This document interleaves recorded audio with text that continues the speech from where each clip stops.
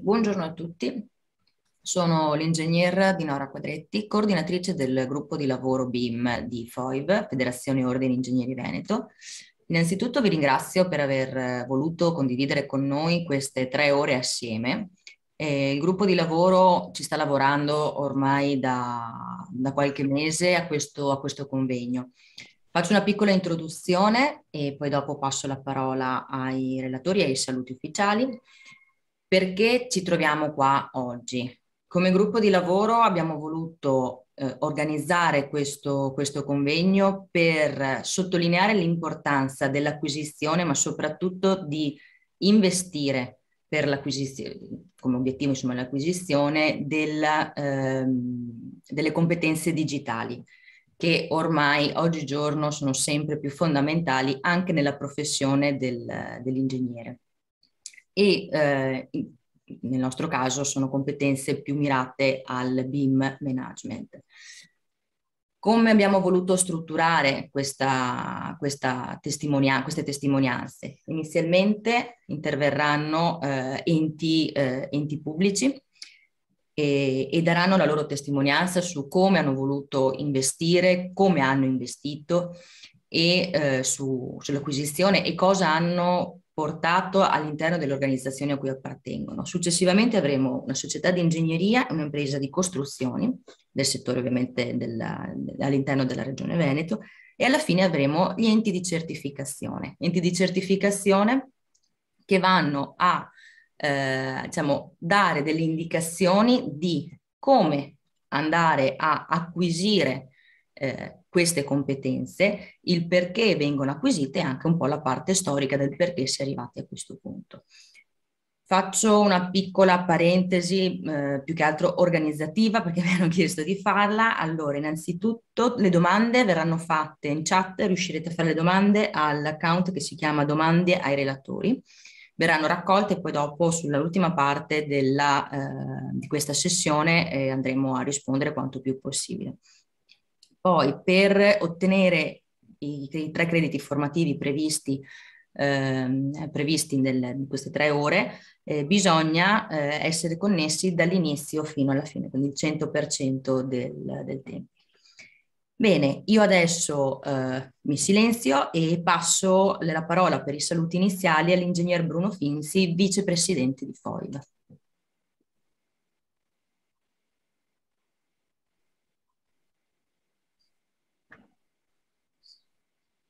Buongiorno a tutti, vi porto i saluti della FOIV e del suo presidente, ingegner Pasqualino Boschetto, come è potuto intervenire. Vi ringrazio per la partecipazione all'evento e ringrazio il nostro gruppo di lavoro che l'ha programmato. Sentire i punti di vista, come già accennato dall'ingegnere, e le testimonianze degli enti pubblici, delle società di ingegneria, delle imprese di costruzione, degli enti di certificazione, permette di avere il polso della situazione degli attori del BIM, che operano con queste procedure oramai di fatto obbligatorie, sia a livello normativo per certe committenze, sia a livello funzionale per dare risposte alle problematiche connesse al futuro dell'edilizia e del mondo delle costruzioni in generale che ci avvicinano con queste procedure alle migliori realtà internazionali. Vi lascio e vi auguro una buona partecipazione e un buon lavoro. Grazie. Grazie mille Vicepresidente. Adesso invece passo la parola all'ingegner eh, Gianluca Pasqualon, Presidente dell'Ordine degli Ingegneri di, di Venezia, nonché eh, diciamo, l'ordine ospitante eh, di, questa, di, questo seminario, se fossimo, se fossimo fisicamente presenti. Prego, Ingegnere. Sentite, posso già parlare? Certo. Buongiorno a tutti, ovviamente ringrazio Foiv per l'invito, ringrazio anche tutti i partecipanti che si annoiano in questo momento ad ascoltarmi porto i saluti del mio presidente che oggi non poteva essere presente e ovviamente i saluti dell'ordine tutto, dell'ordine ingegneri provincia di Venezia. Il BIM come tutti eh, avevo in me pregiudizi, ma ragionandoci un po' sopra e prendendoci un po' la mano, mi sono accorto che non è il BIM a essere complesso, ma è il mondo delle costruzioni in generale ad essere. Oggi non abbiamo più i margini economici di un tempo, in tutti i sensi, le possibilità di errore diminuiscono notevolmente e il progetto deve necessariamente affrontare una maggiore complessità per ridurre gli sprechi e le inefficienze che storicamente, possiamo dire, hanno caratterizzato il settore delle costruzioni in generale. Certamente l'impiego di software comporta delle difficoltà eh, iniziali di apprendimento, ma la vera difficoltà, secondo me, chi come secondo me è stato finora abituato a lavorare nel suo studietto con pochi intimi, è effettivamente la necessità di operare in un team ormai interdisciplinare. È questo che comporta il maggior grado di complessità, soprattutto appunto per chi come, ahimè, a una certa età è una forma mentis ormai, ormai degradata. Il BIM in realtà non re, secondo me, non rende le cose più complesse, ma rispecchia piuttosto la necessità di considerare molti più aspetti del progetto rispetto al passato. In sostanza, è ora che il professionista esca dal suo orticello. Non importa quanto possiamo essere brillanti, quanto può essere brava la nostra capacità, la nostra strategia. La verità è che se giochi una partita da solo e sei contro una squadra, ormai devi perdi lo diceva anche il mio idolo, un grande cestista americano, con il talento si vincono le partite, ma con il lavoro di squadra che si vincono i campionati. Questo è il mio augurio, ringrazio per la pazienza e vi auguro buon lavoro. Grazie mille Presidente. Chiudiamo eh, questa parte iniziale di saluti eh, passando la parola a Mario Conte, presidente del, dell'Anci Veneto, Anci Veneto con cui FOIV ha di recente sottoscritto un protocollo per la promozione e la, e la diffusione degli strumenti per la transizione digitale. Ringraziamo di aver voluto partecipare per i saluti, quindi passo la parola a, a, al signor Mario Conte.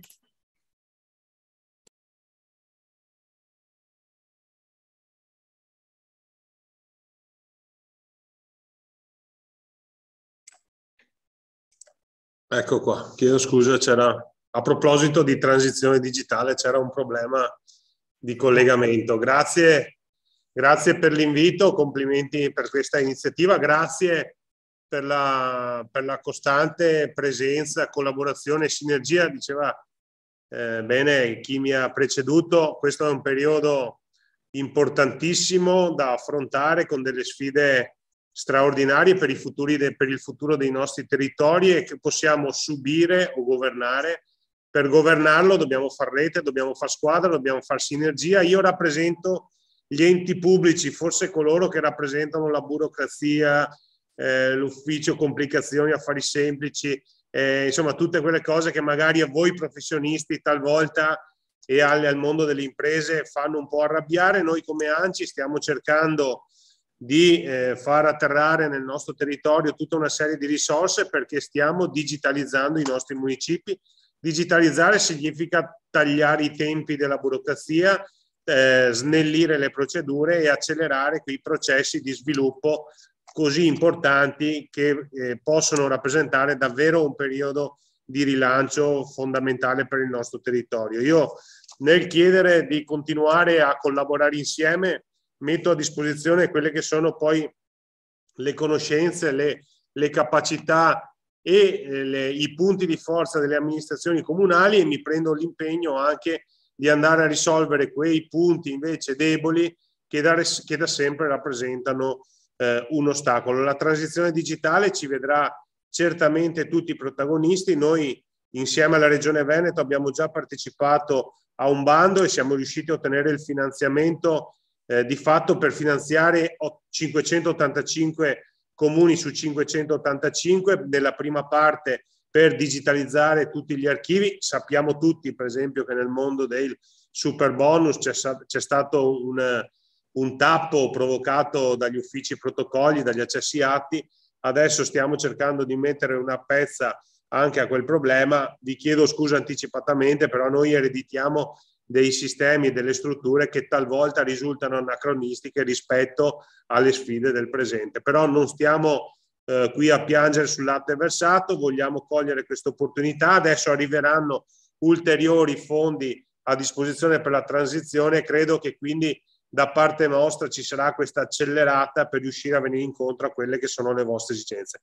Complimenti per questo eh, webinar che nei contenuti è straordinario perché eh, informa e mette a conoscenza di quelle che sono le opportunità, oltre ad alzare il livello di preparazione e di conoscenza di tutti i professionisti. E poi l'appello che vi faccio è quello di continuare a collaborare perché certamente noi comuni abbiamo bisogno del mondo dei professionisti, del mondo delle imprese, però sono convinto che un pochino anche voi avete bisogno del mondo dei comuni. Ecco, noi siamo qui quindi pronti a tendere la mano. Ringrazio la Federazione Ordini Ingegneri del Veneto perché da sempre si è dimostrata attenta, sensibile e disponibile nei confronti dell'amministrazione pubblica. Quindi noi ci siamo e ancora complimenti e grazie per questa opportunità. La ringrazio Presidente, eh, sottolineo l'importanza di quanto appena detto da, dal Presidente Anci, ossia l'impegno della, della, pubblica amministrazione, chi eh, ormai lavora da anni, ma anche chi sta iniziando ad approcciarsi adesso alla metodologia BIM e comunque a una metodologia digitale, sa benissimo che eh, la spinta iniziale di, di start di tutto il processo inizia proprio con il committente o con la stazione appaltante. Quello che in, in questi anni, diciamo negli ultimi, chiamiamoli 5-10 anni, non è proprio avvenuto, nel senso che molto spesso erano le società di progettazione che spingevano per proprio investimento e, eh, oppure le imprese, quelle diciamo più lungimiranti che l'hanno visto, hanno visto l'opportunità molti anni fa, hanno iniziato a investire. Però la cosa era ferma nella loro operatività, nella loro produzione. Adesso si sta iniziando a diffondere molto quello che è l'importanza del dato e della gestione informativa e quindi siamo tutti coinvolti dall'inizio alla fine. E quindi è importante investire tutti in questa direzione. E, ehm, colgo l'occasione perché sarebbe il momento in cui eh, dovrei fare la relazione introduttiva, ma in realtà l'ho già fatta all'inizio, per ringraziare eh, i componenti di tutto il gruppo di lavoro eh, BIM di FOIV, per, per la precisione gli ingegneri Sandro D'Agostini, Brianza Giuseppe, Carlo Zanchetta che è anche relatore, quindi ha cambiato cappello in questa, in questa sede, Borin Paolo, Drigo Roberto, Zocca Francesco e Massola Elena e due componenti del gruppo che non sono più componenti del gruppo, ma ci tengo a, a ringraziare anche loro, Bernardi Federico e Muraro Fabio, che comunque hanno dato il via a questo gruppo di lavoro eh, che sta cercando quanto più possibile insomma, di proporre e di eh, diffondere la, questa, questa metodologia e comunque essere anche un punto di riferimento per i professionisti. Bene, ora entriamo pure nel vivo della, eh, di, questo, di, questo, incontro e quindi iniziamo con le testimonianze degli enti, degli enti pubblici. Quindi adesso eh, passerò la parola a Francesco Ruperto di Cortina 2126 per eh, avere da lui diciamo, la sua testimonianza in merito all'importanza di, di queste competenze digitali.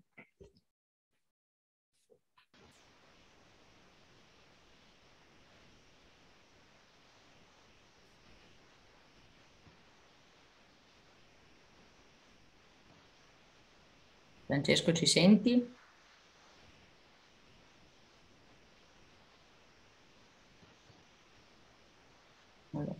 Lo vedo collegato.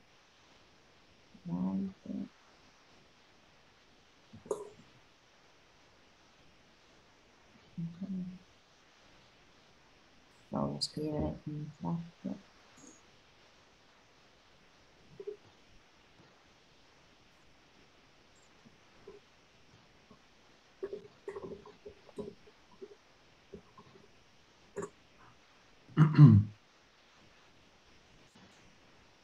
Ok, allora magari invertiamo, il, potrebbero esserci dei problemi tecnici, quindi invertiamo eh, un attimo l'ordine. E li ho visti collegati prima, allora passo la parola all'ingegner Erika Carloni e l'ingegner Nicola Scomazzon del gruppo, del gruppo ERA Quindi passiamo ai, al settore utilities. L'ingegner Carlone è responsabile dello sviluppo e il coordinamento BIM ed è BIM manager per, per ERA, mentre Nicola Scomazzon è BIM coordinator, quindi diciamo il cosiddetto braccio destro del, del BIM manager. Grazie Erika e grazie Nicola e direi che vi passo, vi passo la parola. Grazie a voi. Provo a condividere. Mi sentite? Sì. sì. Perfetto. Allora provo a condividere la presentazione. E... Vediamo un attimo dov'è, qua in sotto non lo vedo verde. Sì. Facciamo qua. Ok. Allora, vi raccontiamo quello che abbiamo fatto in ambito eh, gruppo ERA. Noi, ehm, innanzitutto, quello che è stato il nostro percorso.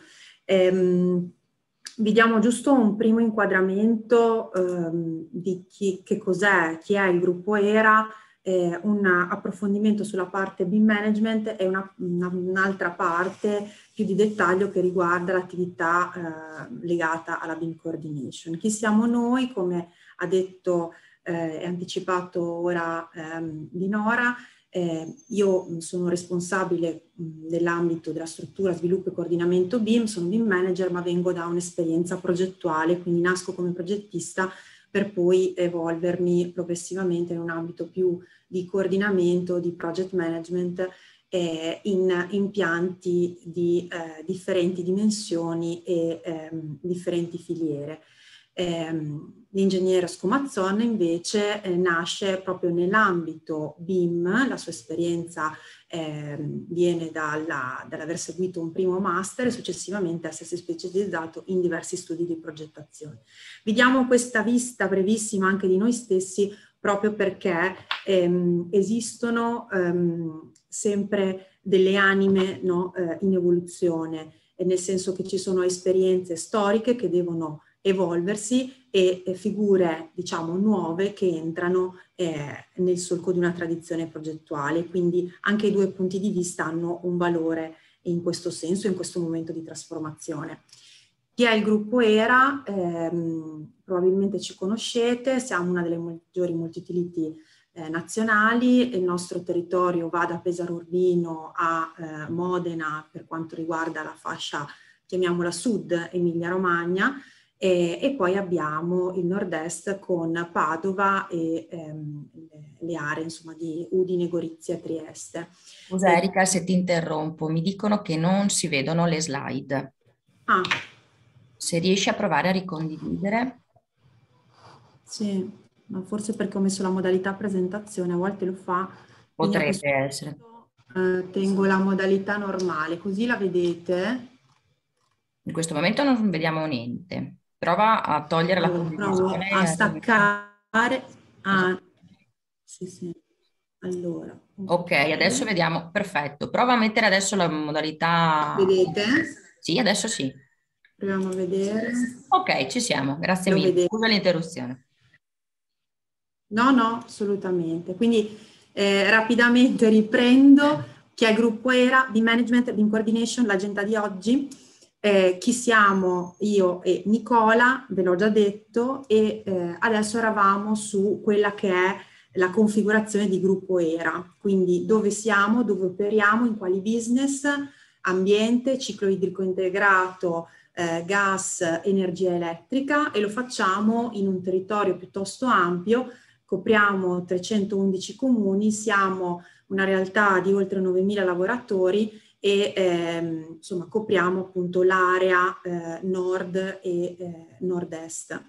Ehm, il gruppo ERA eh, vede l'esigenza del BIM eh, fin da subito. Noi eh, partiamo con un progetto di introduzione del BIM nel 2018, quindi subito dopo l'emissione del decreto che eh, ehm, insomma dava, dava le soglie dell'obbligatorietà. Questo perché? Perché c'è stata un'esigenza normativa, ma eh, la spinta grossa è venuta da un'esigenza di ottimizzazione dei processi. La nostra volontà è stata fin da subito quella di ottimizzare il processo di progettazione e costruzione. La progettazione costa di più, la progettazione è più complicata perché comunque lavorare in 3D dà dei vantaggi, il BIM dà molti vantaggi ma dà anche una complessità superiore che noi riteniamo di poter valorizzare nell'ambito dell'investimento, ovvero ridurre quelle che sono le varianti e le sorprese che ci troviamo in campo quando poi andiamo a realizzare le attività.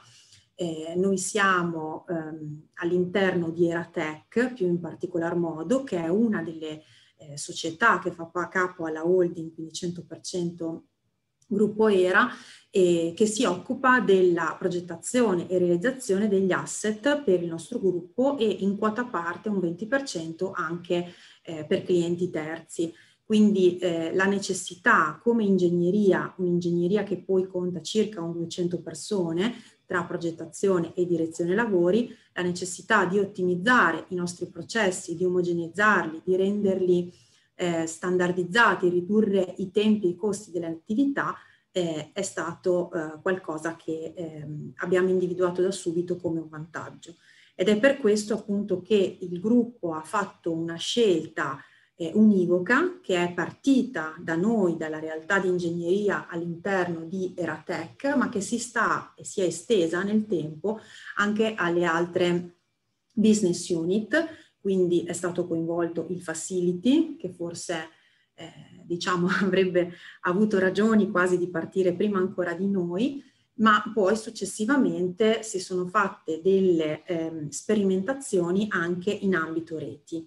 Noi siamo partiti dalla progettazione e realizzazione impianti, quindi dalle opere puntuali, perché eh, ritenevamo che in quell'ambito ci fosse maggiore eh, possibilità di trarre valore, insomma, dalla risoluzione delle interferenze, dalla complessità, dai dati che vogliamo mettere insieme e anche dalla costruzione di un futuro asset, di un futuro database che sia la rappresentazione digitale del nostro asset. Quindi siamo partiti da lì, ma come dico è stata una scelta di gruppo, una scelta che ha portato a costituire una, um, un'area della quale io sono la responsabile, che è un'area eh, operativamente a supporto della direzione di ingegneria e che eh, mira sulle indicazioni della direzione di ingegneria a eh, voler supportare tutti i progettisti e eh, la direzione lavori. Cosa vuol dire? Non siamo eh, un gruppo di persone che fanno BIM e basta, siamo quel gruppo di persone che supportano tutta la struttura e quindi i 200 professionisti a cambiare e a trasformare la propria professionalità, eh, a acquisire i nuovi strumenti, a lavorare sia con nuovi strumenti, hardware e software, ma anche eh, secondo nuovi workflow. Per questa ragione è stato poi necessario ehm, eh, costruire, eh, diciamo, eh, quell'area di eh, BIM management, un'area eh, che avesse ehm, una eh, vista sia strategica che operativa.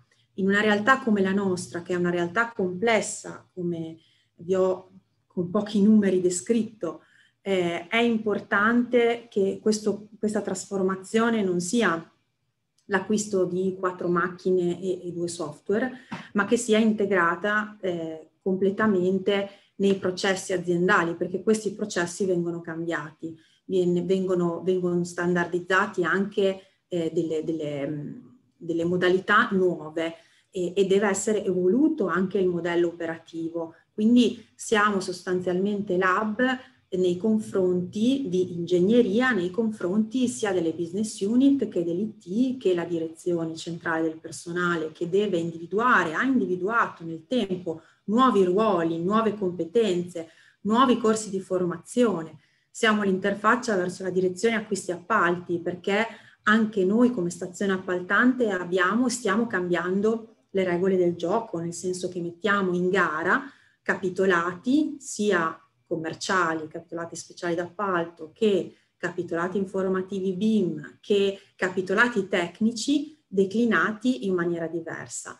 Ehm, per cui insomma un po' tutto il sistema e tutta la macchina eh, deve avere consapevolezza che le esigenze sono diverse e in questo senso c'è bisogno di una vista aziendale strategica.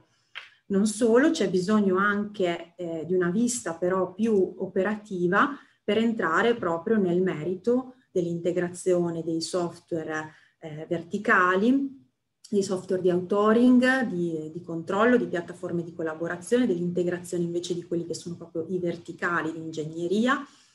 Eh, c'è bisogno insomma di eh, capire quelle che sono le esigenze specifiche del personale sul training on the job, sulla formazione e arrivare magari anche a certificazione per le figure che eh, appunto hanno maturato la, la giusta esperienza sviluppare proprio anche le linee guida, eh, gli standard, i capitolati, avere quindi una regia nell'attività che svolgono i vari BIM coordinator che abbiamo formato nel tempo e che dei quali insomma disponiamo eh, in azienda e dando le indicazioni anche ai BIM specialist per quanto li compete.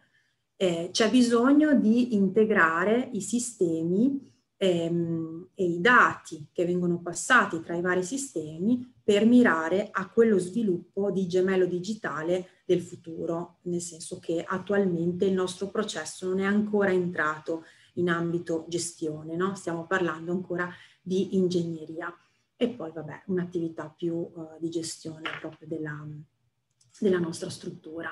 Quindi quali sono le competenze? Non c'è il BIM manager e basta, non c'è eh, il BIM management, non lo fa una persona, lo fa insieme a una serie di persone. Abbiamo BIM coordinator, abbiamo un CDE manager, abbiamo computational designer, abbiamo library manager, abbiamo degli specialisti disciplinari e degli specialisti tecnici. Abbiamo anche figure esterne, perché ovviamente eh, c'è un carico di lavoro che eh, talvolta non riusciamo a coprire completamente. Quindi abbiamo BIM specialisti esterni e modellatori esterni.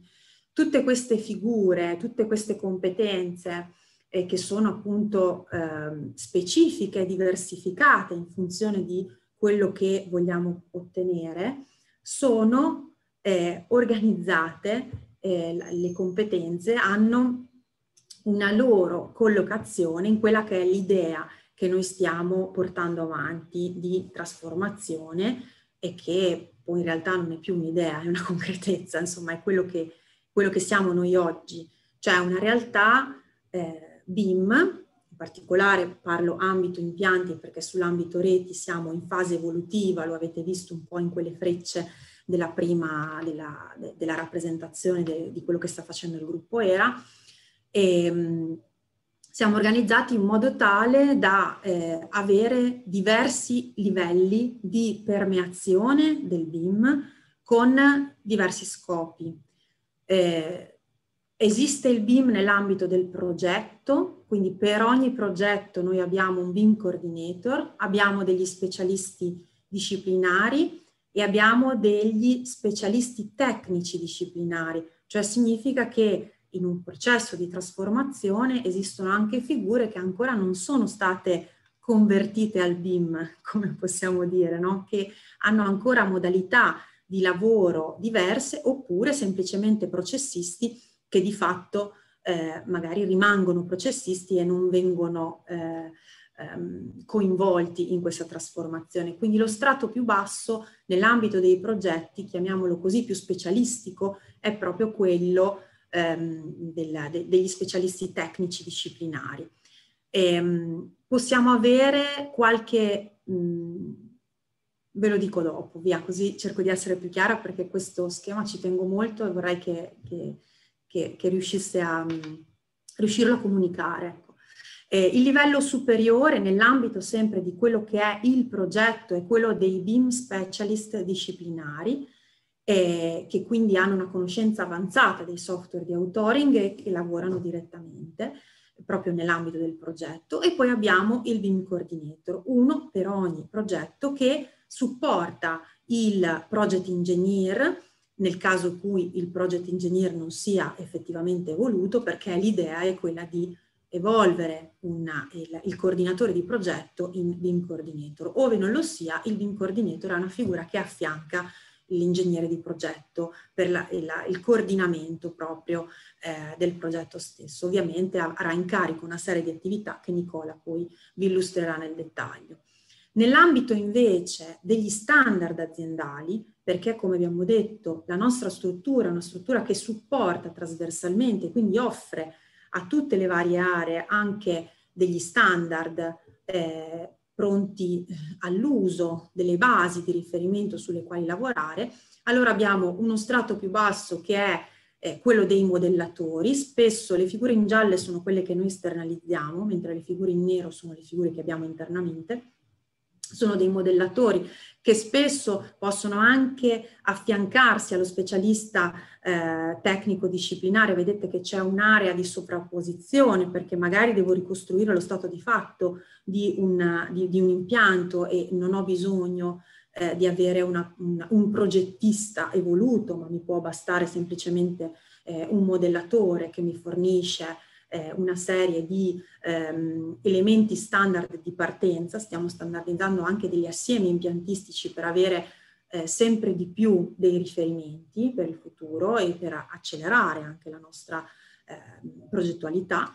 Abbiamo un secondo livello che è quello appunto dei modellatori più evoluti, modellatori che possono essere anche ehm, ehm, più vicini ai progettisti, quindi avere una, una conoscenza ehm, un po' più spinta, ma che forniscono poi eh, tutte le, le, le, famiglie, gli oggetti. Eh, ricordiamoci che nell'ambito della standardizzazione sono tante le attività che dobbiamo mettere a disposizione, ci sono i template, eh, ci sono degli script che possono agevolare il lavoro, quindi sono attività che andiamo a far svolgere eh, insomma, ai nostri eh, collaboratori in ambito standardizzazione e poi abbiamo alcune figure di riferimento che sono library manager e computational designer che sovrintendono a questa attività di standardizzazione. Il CDE manager è una figura che eh, si trova un po' a metà perché ha in carico la piattaforma di collaborazione, ma poi eh, all'emergenza dà eh, supporto anche nell'ambito dei singoli progetti, proprio per una gestione della collaborazione spinta, e poi eh, c'è il BIM manager che deve avere una visione d'insieme di eh, quello che sta avvenendo sia ambito standardizzazione che ambito eh, progettuale.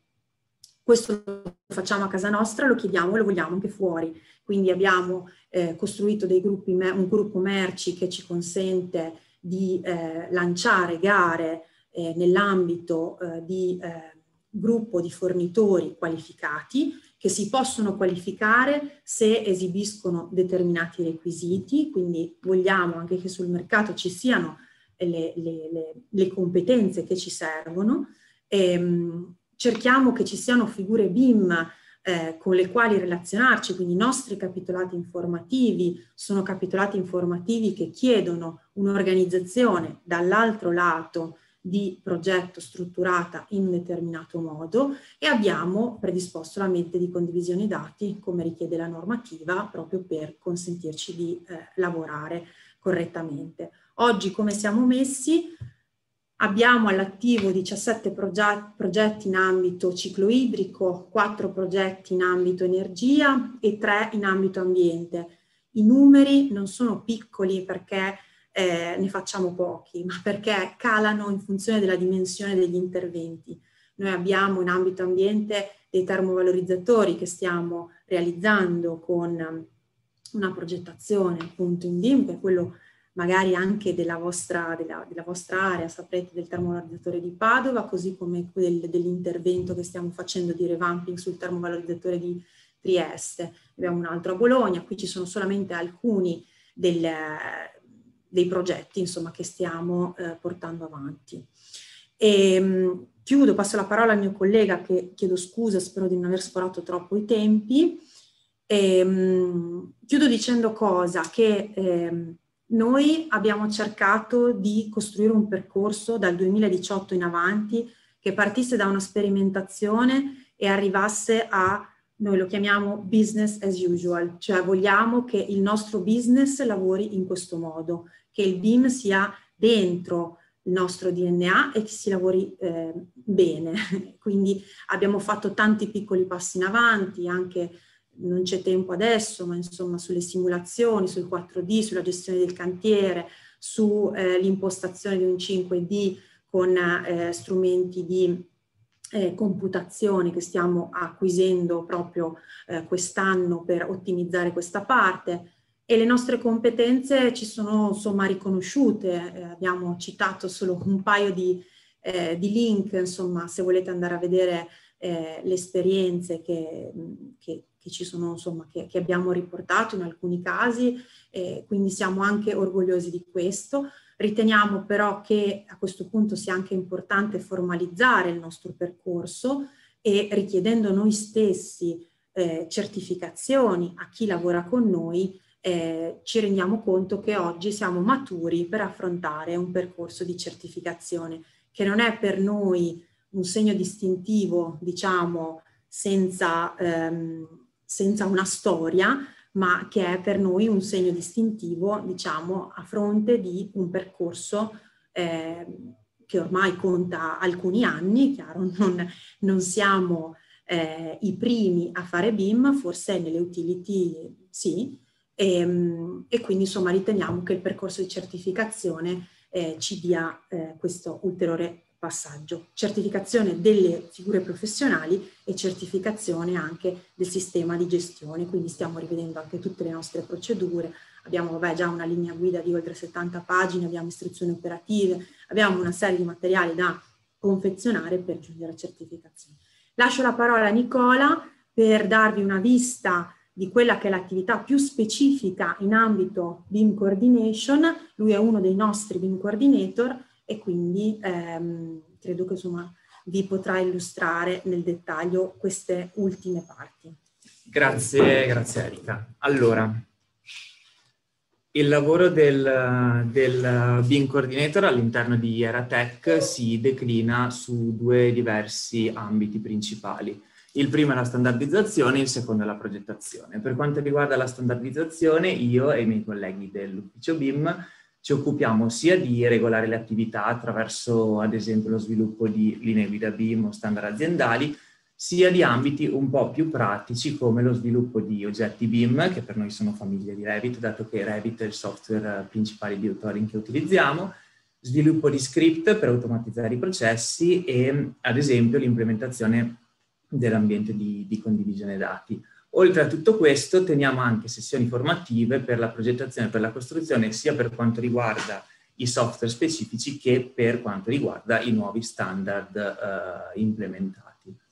Ehm, passando invece alla progettazione, noi entriamo in gioco praticamente su tutte eh, le fasi del processo di progettazione da, dalla fase pre-gara, quando andiamo a redigere a supporto del, del, nostro BIM manager il capitolato informativo BIM, del, nella fase di avvio del progetto andiamo a supporto dei PM per impostare le attività e eh, impostare noi stessi i modelli di progetto, quindi i modelli su, sui quali poi i BIM specialist andranno a lavorare e, e a progettare.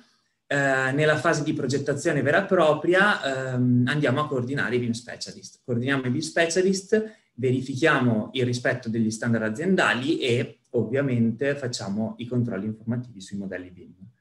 Um, infine, nella fase di costruzione andiamo a supporto della direzione lavori, come con svolgendo simulazioni 4D. Questi due ambiti si alimentano ovviamente a, vicenda, in quanto la standardizzazione ci permette di ottimizzare e velocizzare la progettazione, mentre la progettazione ci permette di testare i nuovi standard sviluppati e affinarli via via col tempo. Abbiamo degli strumenti a supporto per fare il nostro lavoro di BIM Coordinator. Eh, prima di tutto gli oggetti. In questi quattro anni eh, abbiamo sviluppato circa 900 oggetti, che per noi appunto sono famiglie eh, di Revit, raccolti in librerie disciplinari, e ogni oggetto fa riferimento a un proprio cluster. Per noi un cluster è un gruppo di oggetti accomunati da eh, lo stesso set di parametri. Quindi, ad esempio, tutti i pilastri in calcestruzzo armato avranno tutti lo stesso set di parametri. Script, sviluppiamo gli script per automatizzare i processi, siamo a, sui 40 script. Eh, abbiamo sviluppato gli standard grafici, per ogni disciplina e per ogni fase progettuale. Questo per facilitare il lavoro sempre dei BIM specialist, perché dovranno soltanto comporre la tavola e non dovranno pensare a impostare gli spessori di linea, i colori, creare etichette, insomma, tutto quello che ruota intorno agli standard grafici. Come ultima cosa, i template. Abbiamo template di modello di partenza e template di capitolati o specifiche di progetto. Um, quanto più ovviamente il lavoro di standardizzazione è corposo, tanto più si facilita il lavoro dei progettisti e degli specialist e si velocizza anche il loro lavoro. Una delle attività eh, principali e chiave del, del BIM Coordinator è il controllo dei modelli. Noi lo splittiamo in tre attività. Il controllo della modellazione, che facciamo tramite un plugin di Revit, andiamo a controllare la qualità della modellazione e la pulizia del modello. Poi controlliamo i parametri, noi lo facciamo con degli script di Dynamo, quindi in modo semi-automatico o automatico.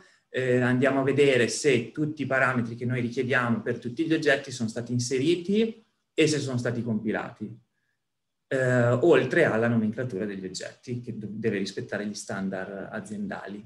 Ultimo controllo, il controllo delle interferenze eh, geometriche e spaziali sia all'interno dello stesso modello che tra modelli diversi. Una volta che il BIM Coordinator fa questi controlli, crea un report che fornisce ai BIM Specialist oppure ai fornitori esterni. Perché facciamo tutto questo? Perché eh, l'introduzione della metodologia BIM ha portato, come diceva anche Erika all'inizio, maggiore complessità. Questa maggiore complessità da cosa è data? Prima di tutto la maggior parte dei progettisti derivano dalla progettazione eh, tradizionale, quindi in CAD, e non sono abituati a progettare in tre dimensioni, oltre al fatto che progettare in tre dimensioni è più complesso rispetto alla progettazione in due dimensioni. Il BIM inoltre comporta una maggiore quantità di dati, di oggetti e di standard da seguire. Come ultimo punto, inoltre, implica un nuovo modo di lavorare in modo collaborativo. Tutta questa complessità, per forza di cose, richiede quindi un maggior coordinamento. E il maggior coordinamento ci permette di eh, individuare e risolvere gli errori di progettazione, le interferenze spaziali tra gli oggetti, eh, ci permette di gestire la gran mole di dati con i controlli automatici sui modelli, ci permette di controllare i tempi e i costi di costruzione, come dicevo all'inizio, con le simulazioni 4D e attraverso l'utilizzo di un ambiente di condivisione dati impostato eh, e implementato facilita l'interazione tra gli attori, tra gli attori del progetto. Quindi come diceva anche Erika per il BIM Manager, anche il BIM Coordinator eh, necessita di competenze specifiche. Um, innanzitutto la conoscenza delle varie fasi e necessità del processo di progettazione e costruzione e la conoscenza del contesto normativo in ambito BIM. Poi deve avere una conoscenza avanzata dei software, software sia di modellazione che di controllo dei modelli, possibilmente anche di software basati su linguaggi di programmazione visuale. L'esperienza pregressa come BIM Specialist invece gli permette di accumulare quelle competenze che gli consentono poi di essere un punto di riferimento per il BIM Specialist che andrà a, a coordinare. Quindi, eh, e chiudo, eh, per noi è importante che mh, giungere a certificarsi a valle di un percorso di formazione specialistica e successiva esperienza, così che la certificazione sia una conferma delle competenze acquisite eh, delle varie figure BIM e, e, possa essere anche un elemento distintivo in modo tale che noi, stazione appaltante, ehm, riusciamo ad avere la certezza che quelle figure certificate siano effettivamente di livello rispetto a quello che c'è al giorno d'oggi, quello che ci offre il mercato al giorno d'oggi. E noi abbiamo finito e vi ringraziamo per, per l'attenzione. Grazie mille Erika e grazie mille Nicola per la vostra, per la vostra testimonianza. E, ehm, il percorso intrapreso da una stazione appaltante o da un committente, come vedete, è sicuramente oneroso sia in termini di tempo sia in termini di sborsi, diciamo, econo- investimenti più che sborsi economici e eh, questo tipo di investimento è quello che in maniera più o meno sostanziale dovrà eh, affrontare chiunque si trovi all'interno della filiera delle costruzioni. Ma ripeto, come dicevo prima con l'intervento di Mario Conte, eh, posso dire che per fortuna eh, stiamo andando tutti verso insomma, questa, questa, direzione. Ripasso la parola all'ingegner eh, Ruperto, Francesco Ruperto. Ciao. Ok, ciao. ci sentiamo. Ciao Francesco. sì, ciao, buongiorno a tutti. Scusate per, per l'inconveniente di, di prima, ma capita, può capitare. Mi confermate che mi sentite? Sì, ti sentiamo. Perfetto, ok. Buongiorno, buongiorno di nuovo a tutti e grazie per, uh, per, uh, per l'invito uh, a, a, questo, a, questo, seminario. io mi presento brevemente, sono Francesco Roberto, mi occupo di questo tema che chiamiamo eh, BIM da diversi, da diversi anni, eh, diciamo da eh, tre punti di osservazione eh, diversi. Uno è quello accademico, eh, come Sapienza eh, per otto anni ho coordinato il Master BIM di, di Sapienza che in otto anni appunto ha avuto più o meno 200 laureati di Master e ha avuto come dire, un placement eh, notevole. Eh, lo dico soprattutto per confermare il fatto che, eh, come dire, eh, di richiesta di figure professionali eh, BIM eh, c'è, ci, ci, sono, c'è, c'è richiesta e c'è soprattutto bisogno di competenze eh, come diceva poc'anzi chi mi ha, chi mi ha preceduto. Eh, con, eh, con, Sapienza stiamo anche eh, lavorando a supporto di un cantiere importante su, su Roma, che è il, il nuovo headquarter di Enel, eh, sono 150 milioni di euro di, di, appalto e siamo in supporto al committente, alla task force di Enel nel governare i processi di cantiere. Ehm, dell'impresa è collegata al PMO, è collegata ai progettisti.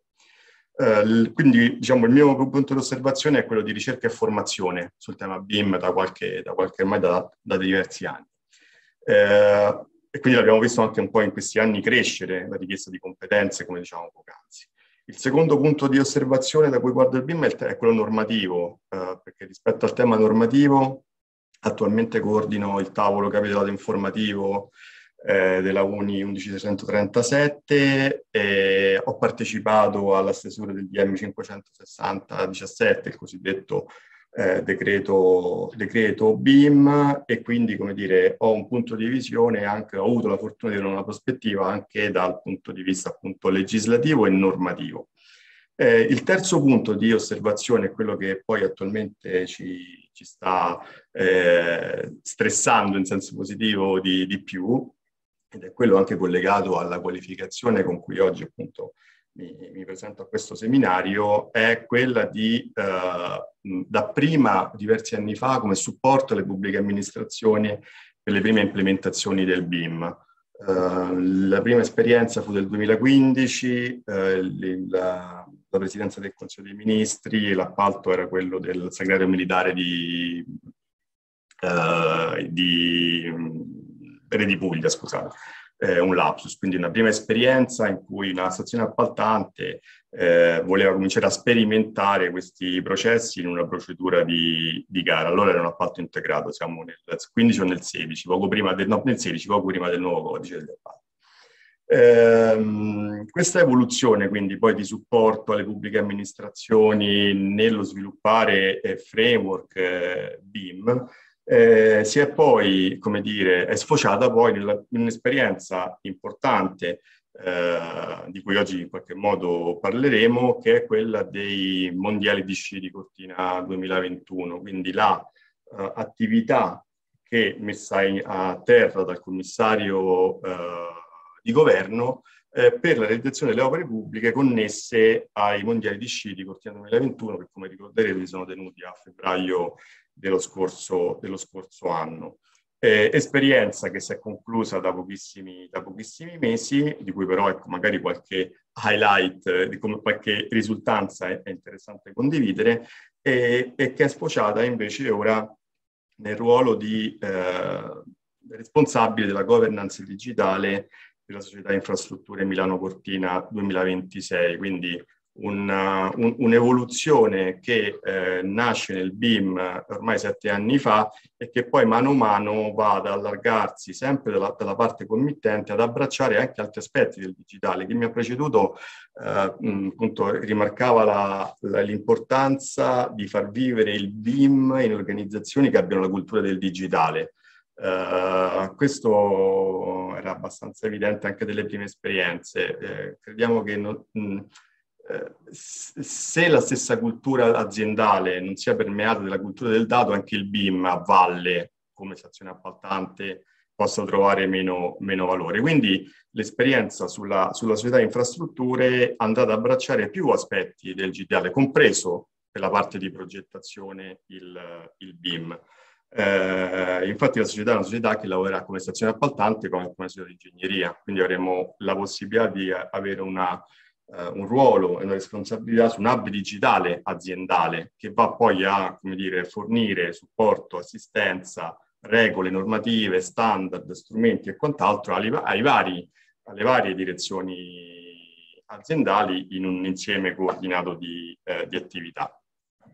Eh, vi dicevo, um, il, prima di passare proprio all'illustrazione un po' delle risultanze di Cortina 2021, ehm, credo che questo tema del BIM, eh, faremmo un torto a questo tema se non lo inquadrassimo eh, nel tema più ampio della trasformazione digitale, che pure chi mi ha preceduto in qualche modo ha, ha evocato. Quindi una trasformazione digitale di organizzazioni complesse che hanno a che fare con il settore eh, costruzioni.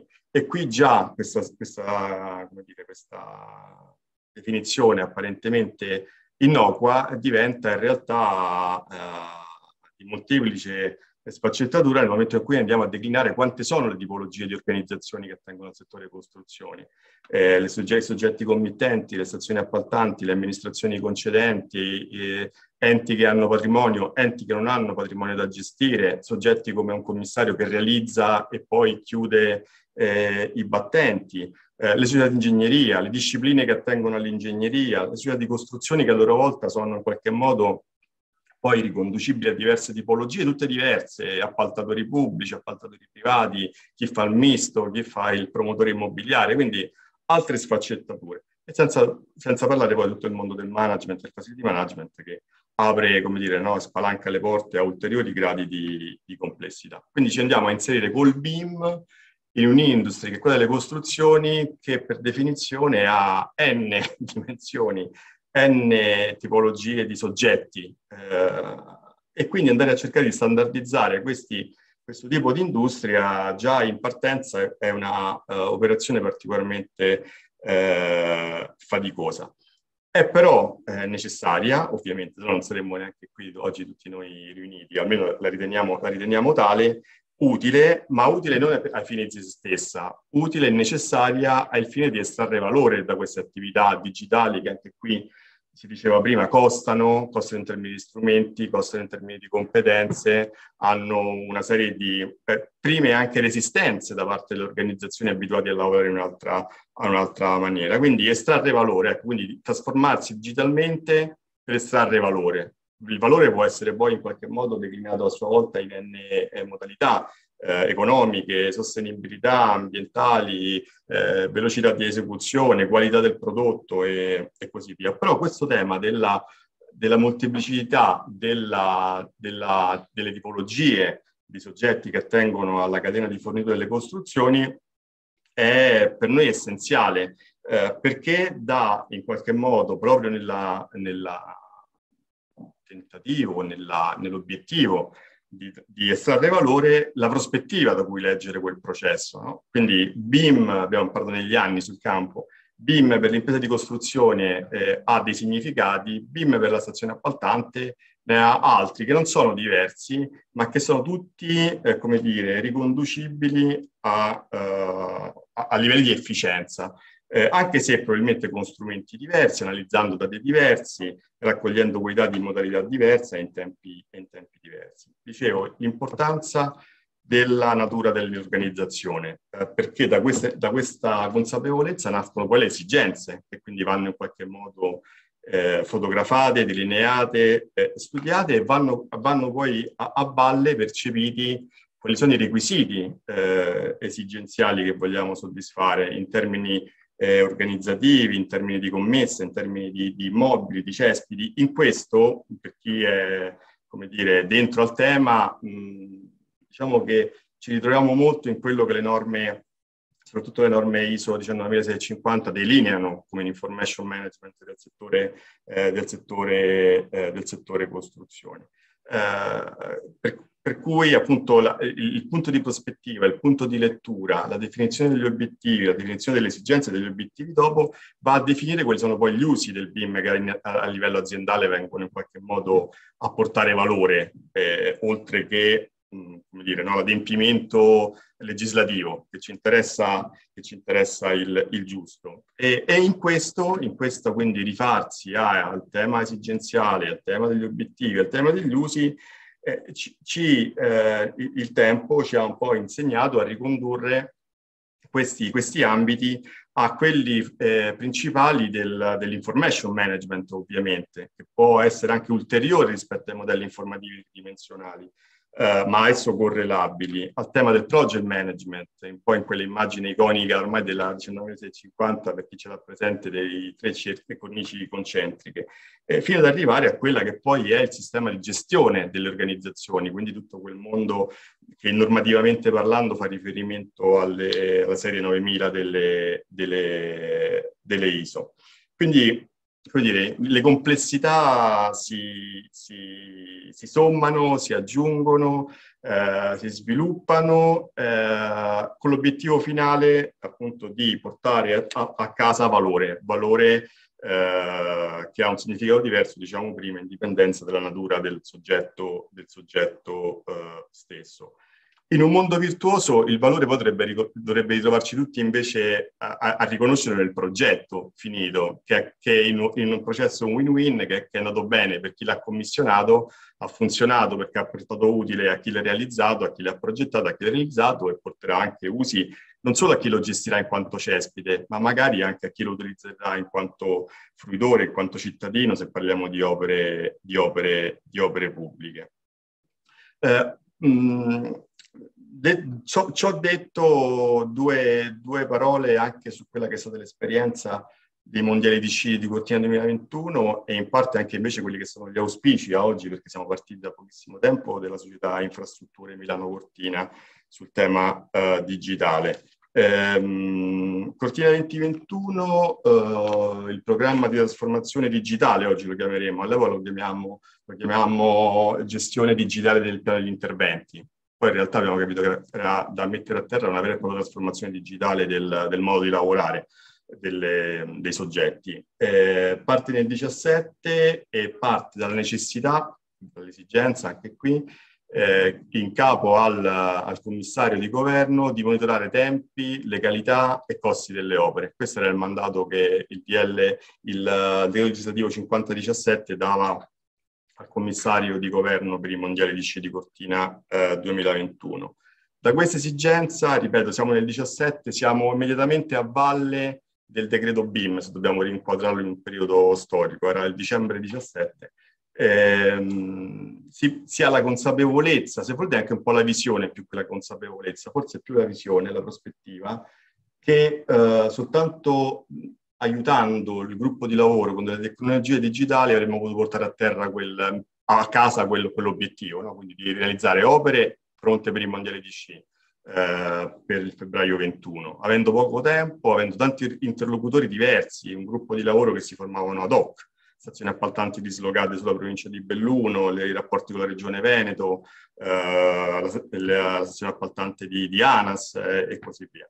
Eh, e nacque quindi nella costruzione, prima ancora che di modelli di capitali informativi BIM che ci sono stati, e quindi tutte le opere appaltate sotto l'egida del commissario di, di governo di Cortina 2021 sono state appaltate secondo il BIM, quindi secondo un capitolo informativi elaborati secondo standard dell'organizzazione.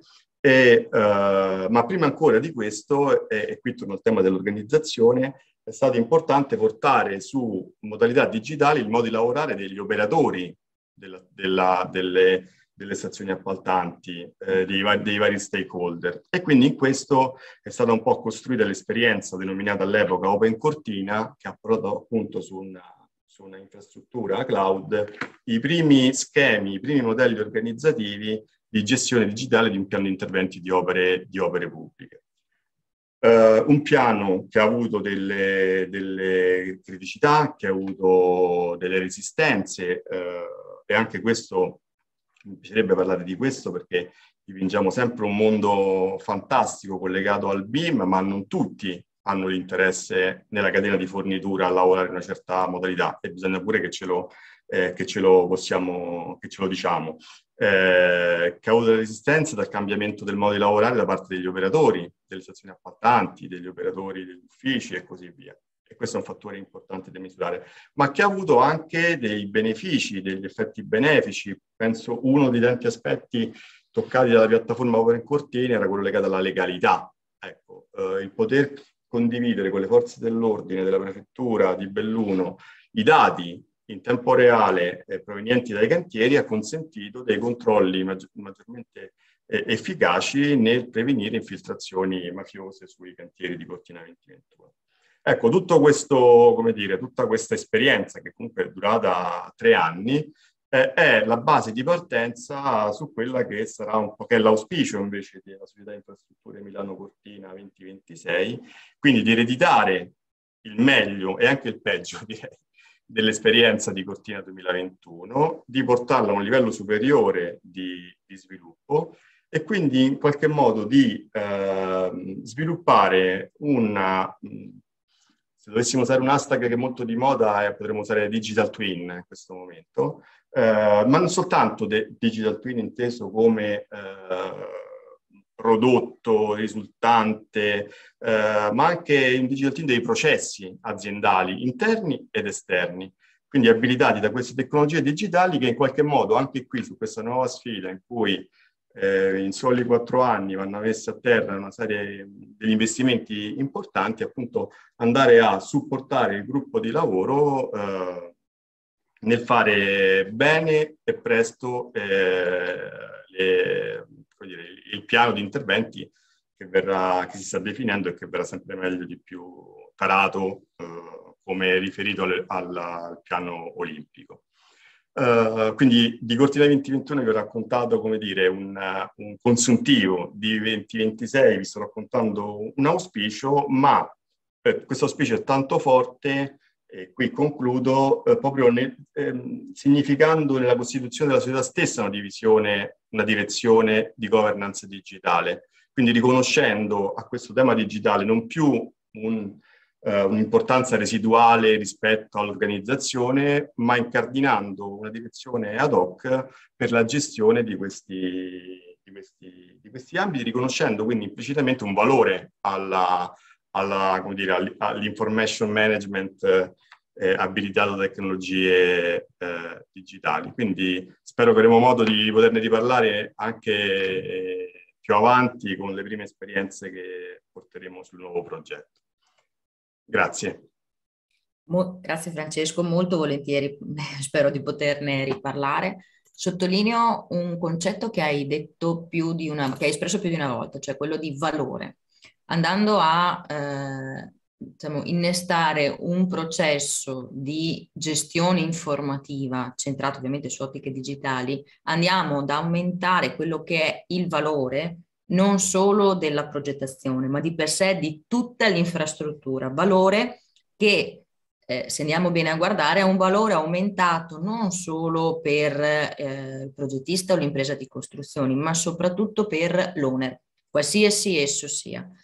Eh, quindi è molto importante eh, cercare di capire eh, e soprattutto di iniziare a percepire questo aumento di valore. All'inizio sembra intangibile, anzi, come, eh, come diceva prima anche eh, Erika, eh, costa tanto, eh, software costano tanto e consulenze, perché alla fine servono comunque i consulenti esperti per dare una direzione, ma il valore generato nel secondo momento, quindi nel medio termine, nel breve, faccio fatica inizialmente a vederlo, eh, è veramente eh, molto molto importante.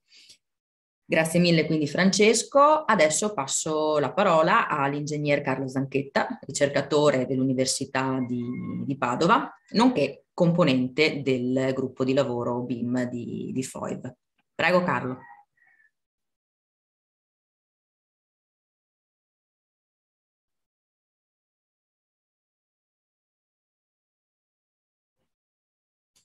Carlo l'ho visto collegato prima.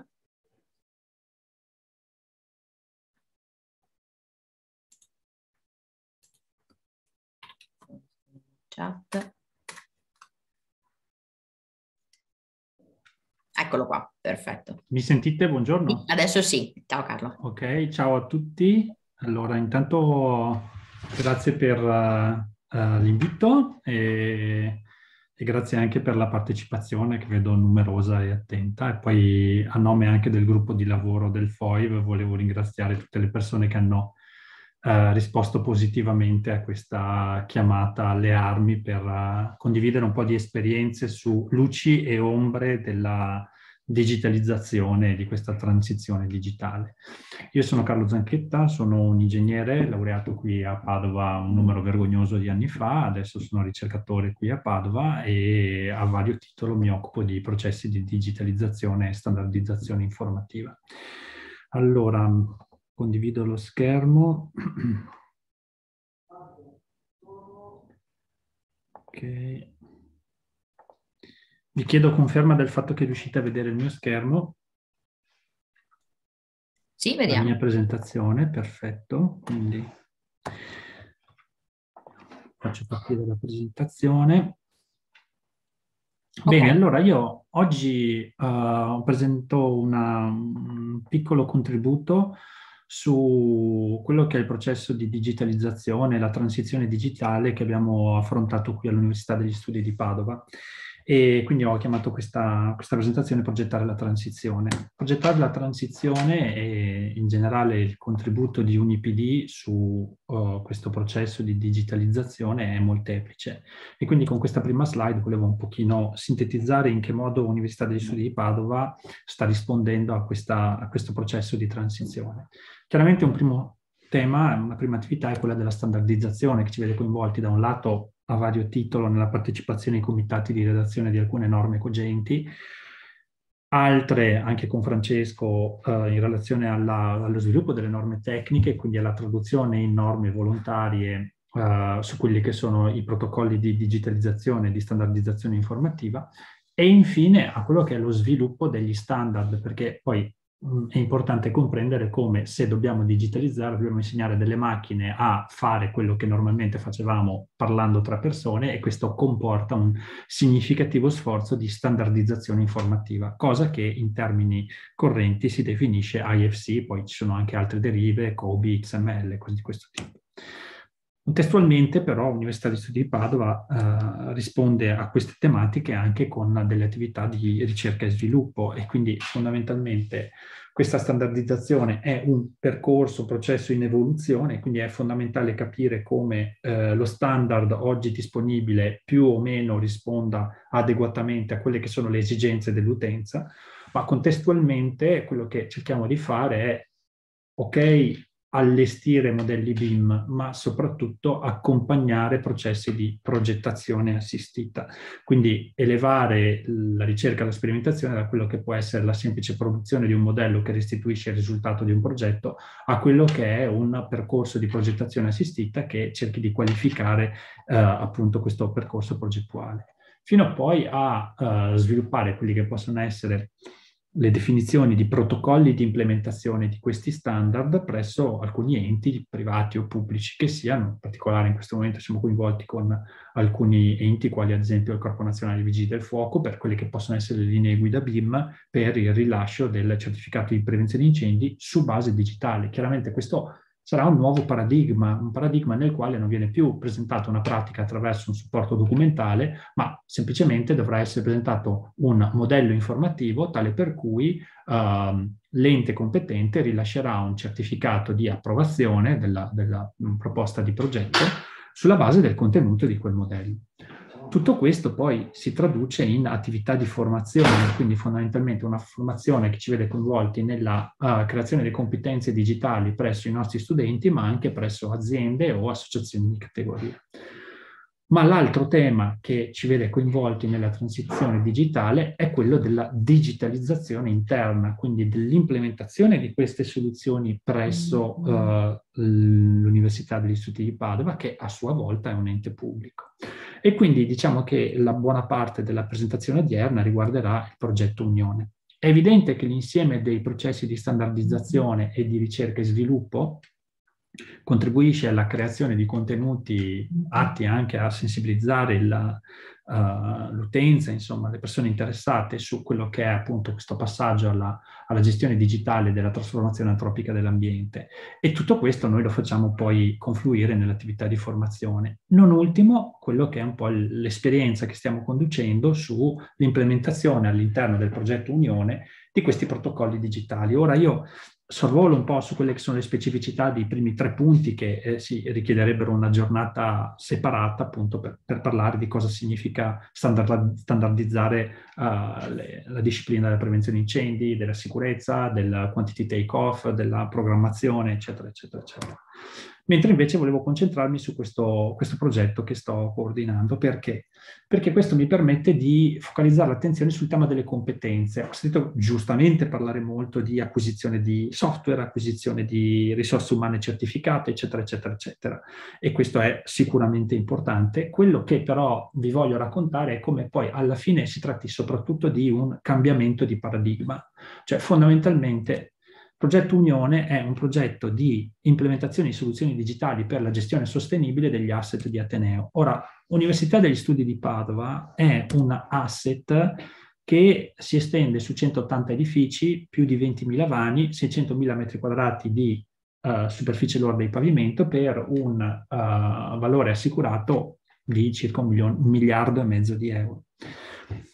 E questo è un sistema complesso, ma ancora più complesso è il sistema delle risorse umane atto a governare questo sistema, che vedete rappresentato nella eh, parte inferiore della slide. Quindi l'Università degli Studi di Padova, da un punto di vista della gestione tecnico-amministrativa, è organizzata in diverse aree funzionali, in particolare dal punto di vista, se vogliamo, squisitamente immobiliari, immobiliare, ce ne sono alcune particolarmente coinvolte, come ad esempio l'area patrimonio logistica, l'area edilizia e sicurezza, l'area dei sistemi informativi.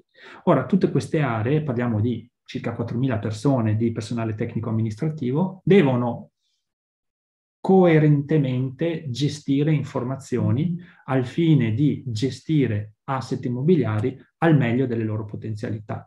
Voi capite come un qualsiasi uh, processo edilizio possa essere frazionato in diverse fasi, quindi in fase di programmazione, no? programmazione economico-finanziaria atta a uh, espandere o rinnovare il property immobiliare di Ateneo per meglio rispondere alle esigenze didattiche di ricerca, la fase di progettazione in cui commissioniamo dei progetti no? per poi portarli in realizzazione e infine gestirli.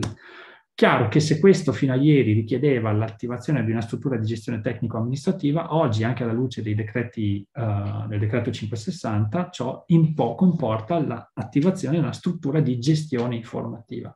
È chiaro che questa struttura di gestione informativa si può tradurre nell'acquisizione, oltre che di software, di competenze, quindi di risorse umane, però è chiaro soprattutto che questa struttura di gestione informativa ha la finalità di fornire l'informazione a chi poi una decisione la deve prendere, in particolare il Management Board di Università di Studi di Padova, che sulla base delle informazioni che l'asset produrrà, in particolare a livello di gestione, saprà prendere le migliori decisioni in fase di programmazione come, vi, come, viene attuata questa transizione, questa trasformazione anche della modalità operativa di persone che non è che, con tutto rispetto per i colleghi, prendiamo, buttiamo via quelli che erano le risorse umane fino a ieri operanti e, e andiamo a farcire l'Università di Studi di Padova di un esercito di BIM specialist di BIM manager. No, fondamentalmente noi dobbiamo arrivare anche attraverso l'acquisizione di nuove competenze a uh, veicolare nuovi capitolati informativi per la fase di progettazione, per la fase di realizzazione, per la fase di gestione.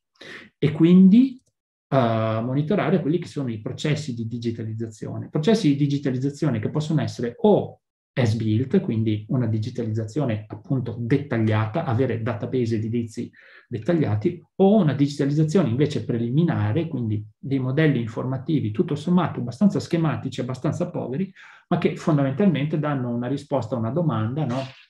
Cosa dobbiamo conoscere? È importante conoscere tutto di qualcosa o qualcosa di tutto. In questo momento l'Università di Studi di Padova sui nuovi edifici vorrebbe arrivare ad avere un sistema solido dal punto di vista informativo, ma è chiaro che su quei 180 edifici vuole avere una conoscenza di qualcosa, ma di tutto.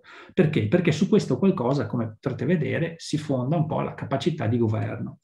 E quindi fondamentalmente se in fase di progettazione e di realizzazione mh, su alcune attività che abbiamo in essere in questo momento, il nostro obiettivo è quello di arrivare ad avere degli SBILT digitali su base informativa, su base database BIM, Viceversa, per affrontare in maniera chiara la fase di gestione, abbiamo, oltre che gli SBILT che stiamo producendo, anche una traduzione preliminare. E quindi fondamentalmente per affrontare questo passaggio, questa transizione, una delle prime attività che ci ha visto impegnati per un annetto è stata proprio quella della definizione di un capitolato gestionale atto ad acquisire una piattaforma di gestione. E attenzione, piattaforma di gestione non è neanche più parlare di BIM, ma è parlare di un'altra tecnologia ancora, che è una tecnologia definita appunto Computer Aided Facility Management o CMMS, che dir si voglia.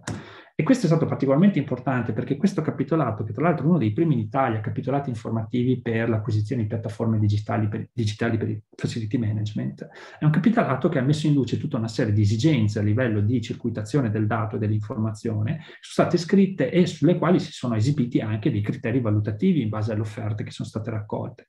E questa attività di censimento delle informazioni è un'attività che è stata condotta sempre in maniera collaborativa con tutte le, con tutte le, le risorse di Ateneo, andando fondamentalmente a tracciare tutte le esigenze, quale informazione ti serve, in quale documento è catalogata, qual è il processo nel quale condividi quell'informazione, sei tu che la scrivi o sei qualcun altro l'autore di questa informazione. E, fa, e capire poi come diverse piattaforme disponibili del mercato rispondano a queste esigenze funzionali. E questo fondamentalmente ci ha permesso di mettere in luce tutta una serie di strategicità nel panorama attuale della, offerta di soluzioni digitali per il facility management che poi ci ha portato ad acquisire uh, la piattaforma che è risultata vincitrice di questo dialogo competitivo. Il terzo step è poi quello della effettiva digitalizzazione. E anche qui digitalizzare non è semplicemente un fatto di conoscenza di un'applicazione, ma è soprattutto un fatto di organizzazione di un gruppo di persone. Ed è soprattutto una, una tematica di uh, definizione di processi, di uh, messa in luce di alcuni eh, gorghi, se vogliamo, uh, operativi che a volte si fa fatica a, a dirimere perché fondamentalmente, come potete vedere, anche semplicemente il fatto di uh, mettere su base digitale una documentazione preesistente è un fatto particolarmente complesso, per cui anche qui abbiamo dovuto creare degli strumenti, partendo anche da strumenti attualmente disponibili, quindi banalmente una piattaforma documentale, quindi non, semplice, non una piattaforma evoluta, una piattaforma di gestione digitale, una piattaforma documentale come SharePoint, sulla quale siamo andati a creare tutte le, a, a far confluire tutte le repository documentali pregresse, sulle quali poi siamo andati a fare, prima ancora che BIM management, document management, quindi associare dei metadati, delle tag no, a tutti i documenti per arrivare a fare una sorta di validazione. Questa validazione un po' ci ha permesso di mettere in ordine tutto il patrimonio documentale che avevamo, ma soprattutto ci ha permesso di cominciare a organizzare il dato di partenza per poi centralizzarlo all'interno di modelli informativi BIM. Perché sono così importanti questi modelli informativi BIM? Perché rappresentano quella molto semplice, in questo caso si tratta di processi automatizzati di generazione di modelli partendo da CAD mh, mm, a disposizione dell'Ateneo. Ma una volta che abbiamo a disposizione questi modelli possiamo arricchirli e quindi fondamentalmente attraverso procedure di sincronizzazione del dato siamo andati a popolare questi database BIM di tutta una serie di dati che ci servono a fare che cosa? A fare gestione corrente con assunzione anche di consapevolezza su certe scelte e certe criticità un primo tema che vi faccio vedere proprio per spiegare come non sia solo il BIM manager, ma le competenze di cui vogliamo parlare sono competenze estese, cioè abbiamo delle competenze centrali che sono quelle proprio di azione di governo del processo di digitalizzazione, ma altre competenze sono competenze invece legate alla trasformazione della modalità, del modus operandi di chi fino a ieri gestiva i propri processi su base analogica, chiamiamola così, ed oggi è chiamato a fare questo su base digitale. Non solo. Uh, mi sentite ancora bene? Sì? Perché mi è arrivato un messaggio di errore. Ok. L'animazione che vedete è fondamentalmente una um, pagina web creata in Apex in cui si fa vedere come le persone preposte alla tracciabilità delle uh, collocazione delle risorse umane all'interno dei locali non va a scrivere un nome all'interno di una cella, ma viene sincronizzato il database che pubblica l'area risorse umane contenente tutti eh, i riferimenti delle persone fisiche con il database dei locali che invece è gestito dall'area patrimonio logistica. Quindi fondamentalmente se fino a ieri qualcuno poteva scrivere Carlo Zanchetta e sembrava che Carlo Zanchetta fosse qualcuno di diverso da Carlo Zanchetta, eh, presente all'interno del locale 113347, oggi invece è semplicemente un collocare la risorsa A nella uh, classe informatica B. Questo è il concetto. Questo cambiamento di paradigma è sicuramente un cambiamento importante perché poi, vedete, una volta popolati letteralmente questi, questi, edifici con le risorse umane, quelle presenti o quelle che frequentano gli spazi di Ateneo per esigenze didattiche, possiamo fare tutta una serie di attività di controllo e di gestione. In questo caso vedete una semplice simulazione legata a quella che è la prevenzione incendi, no? Quindi verificare in, ad ampio spettro quella che è la conformità edilizia dal punto di vista della sicurezza ma l'obiettivo è proprio quello di arrivare a delle piattaforme di gestione per la parte impiantistica. Anche qui è un cambiamento di paradigma, per cui fondamentalmente, vedete, il tema interessante è attraverso la modellazione BIM validare quelli che sono i, uh, gli S-built che abbiamo a disposizione. Anche qui ci siamo accorti di alcune non conformità che avevamo ereditato.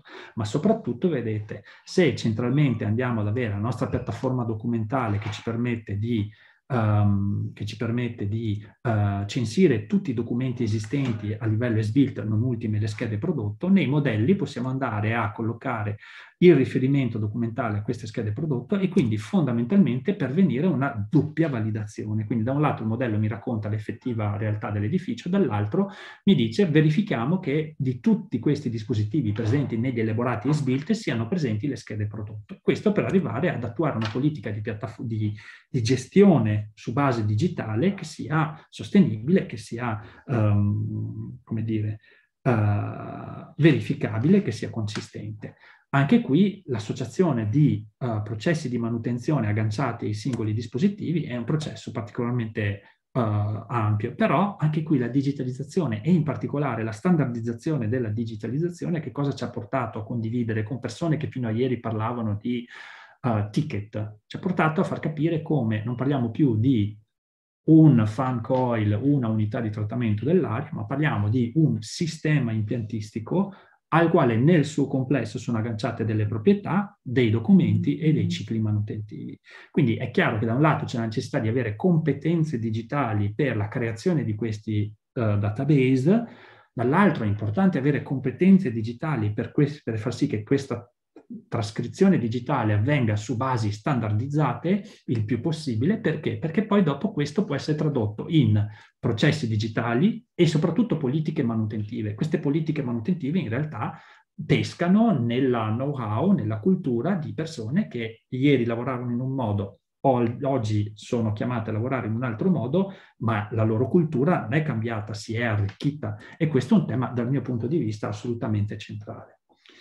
In conclusione, cosa voglio dire? Che è evidente che uh, il, uh, la disponibilità uh, di una transizione digitale, la disponibilità di un database edilizio condito in questo modo è una grande opportunità. Però come ci racconta Spider-Man, eh, da grandi poteri derivano grandi responsabilità. E quindi fondamentalmente quello che noi dobbiamo cercare di arrivare a condividere in un processo di transizione digitale è appunto questo percorso di standardizzazione che guardi alla standardizzazione globale come a un capitale, no? come a un fattore uh, abilitante, ma che poi si concentri anche su una standardizzazione in locale, presso l'ente, no? e in questo processo di standardizzazione interno vive la possibilità di elevare le competenze di quei soggetti che fino a ieri lavoravano in un modo e non è che domani spariscono perché vanno in pensione, mm, Dio non voglia, domani arricchiscono questo processo di digitalizzazione con le loro competenze.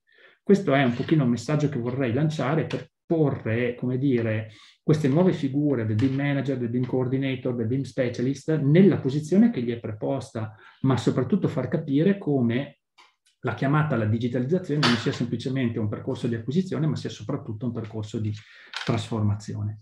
Io vi ringrazio per, per l'attenzione e spero con questa piccola presentazione di aver arricchito un pochino la visione su, su, questo tema, che è un tema che personalmente mi appassiona anche, ma soprattutto un tema sul quale è importante capire in che modo alla, alla parola BIM, alla parola digitalizzazione non sia semplicemente accostabile la parola costi, ma sia importante accostare la parola assumiamoci queste responsabilità perché abbiamo a quel punto grandi poteri. Grazie mille e buon proseguimento. Grazie mille Carlo, molto importante anche questo punto di vista dell'Università di Padova, anche perché eh, i nuovi progettisti, i progettisti di domani passano attraverso eh, gli enti di formazione, quale l'università. E quindi avere università che già in prima fase eh, iniziano già ad avere un approccio all'informazione e alla, alla, gestione informativa è molto molto importante e più che altro si va a eh, limitare o meglio ridurre quello che è il gap tra le competenze necessarie digitali e quelle che vengono date dalla, da, una, da, un insegnamento tradizionale che fino a 6-7 anni fa era quello che veniva dato in maniera diciamo di, di base. Bene, siamo direi in perfetto orario e eh, adesso passiamo la parola invece a, eh, società di, eh, a una società di progettazione. Fino ad ora abbiamo visto quindi i, le esperienze, i punti di vista e, del, e anche le volontà di alcuni committenti di enti pubblici. Adesso invece interviene l'ingegner Federico Zaggia di FM Ingegneria, socio e responsabile del settore project management di, eh, di FM Ingegneria. Prego, prego l'ingegner Zaggia. Buongiorno a tutti. Buongiorno. Grazie per l'invito. Vado subito a condividere lo schermo con uh, la presentazione. Non so se la vedete. Sì, la vediamo. Allora faccio una piccola presentazione veloce, poi vado subito al sodo. Allora, io sono l'ingegnere Federico Zaggia, uno dei soci di FM Ingegneria, una società di ingegneria con la sede principale a Milano, in provincia di Venezia, che esiste da oltre 40 anni e che si occupa di ingegneria civile, di infrastrutture e di servizi di project management. E è una società che si è sviluppata negli anni. Abbiamo presenza ovviamente nazionale con Venezia, Milano e Roma, ma poi anche una serie di società all'estero. E nel Medio Oriente da molti anni, più recentemente in Francia, in Albania e in Germania, anche, anche in Germania da, da, da più di vent'anni ormai. E questo tra mi cioè, consente anche di avere una visione un pochino più europea di che cosa intendono, come si sviluppano i processi BIM in giro per il mondo e non è vero che noi siamo magari, come spesso viene detto, il fanalino di coda, anzi in questo ambito io vedo che invece l'Italia è, anzi, è ben, ben avviata in questo processo di digitalizzazione all'interno dei processi, quantomeno di progettazione. E è un gruppo, il nostro, che occupa circa un centinaio di persone in Italia e circa altrettante all'estero nelle varie sedi straniere e copriamo un po' tutte le discipline dall'architettura, anche se l'architettura è principalmente architettura esecutiva, architettura tecnica e noi lavoriamo sempre con, o quasi sempre, insomma, con altri professionisti, in particolare con architetti. Copriamo invece lo spettro di tutte le attività di ingegneria tipiche dell'edilizia, quindi dalle strutture, agli impianti, prevenzione incendi e geotecnica poi c'è un settore che si occupa in particolare di infrastrutture stradali, marittime, portuali, ter- terminalistiche e un settore di project construction management dove all'interno ci sono i, i PM stretti, ma anche la, la direzione dei lavori, chi si occupa di sicurezza. E poi c'è un dipartimento CAD e BIM ovviamente trasversale che è a servizio di tutte queste varie unità operative la struttura della società è abbastanza classica, ovviamente negli ultimi, questa società ha deciso di, di approcciarsi al BIM uh, già più oltre dieci anni fa e ovviamente facendo piccoli passi anche perché non puoi fare, non puoi avanzare da solo, ma è un po' una filiera che deve accompagnarti o quantomeno anche i colleghi o le persone con i quali si, si, si lavora. E si è adesso comunque da, da, un po' di anni a un, un ufficio di, di, di, di, BIM composto da alcuni BIM manager, BIM coordinator, BIM specialist, come avete ben descritto i colleghi precedentemente. Poi abbiamo un ufficio di project management dove poi c'è un portfolio manager, un program manager o il project manager la, che gestisce la singola commessa e poi ci sono le varie discipline del project development, sicurezza antincendio, costi, quantity surveying, la direzione lavori e poi il business development che è, è suddiviso, c'è un, un, dipartimento che si occupa principalmente di gare pubbliche e un dipartimento che si occupa di gare internazionali supportato da un ufficio comunicazione e marketing. E, ehm, nello specifico nel BIM abbiamo circa, sì, abbiamo certificato eh, l'azienda si è, si è certificata con i CMQ nel 2018 e anche il personale BIM è sempre via via ovviamente certificato mano a mano. Abbiamo un uh, Chief Data Officer, ci sono tre con la qualifica di, di BIM Manager, una, cinque BIM Coordinator e una serie di BIM eh, Specialist per le singole discipline tra struttura, architettura e impianti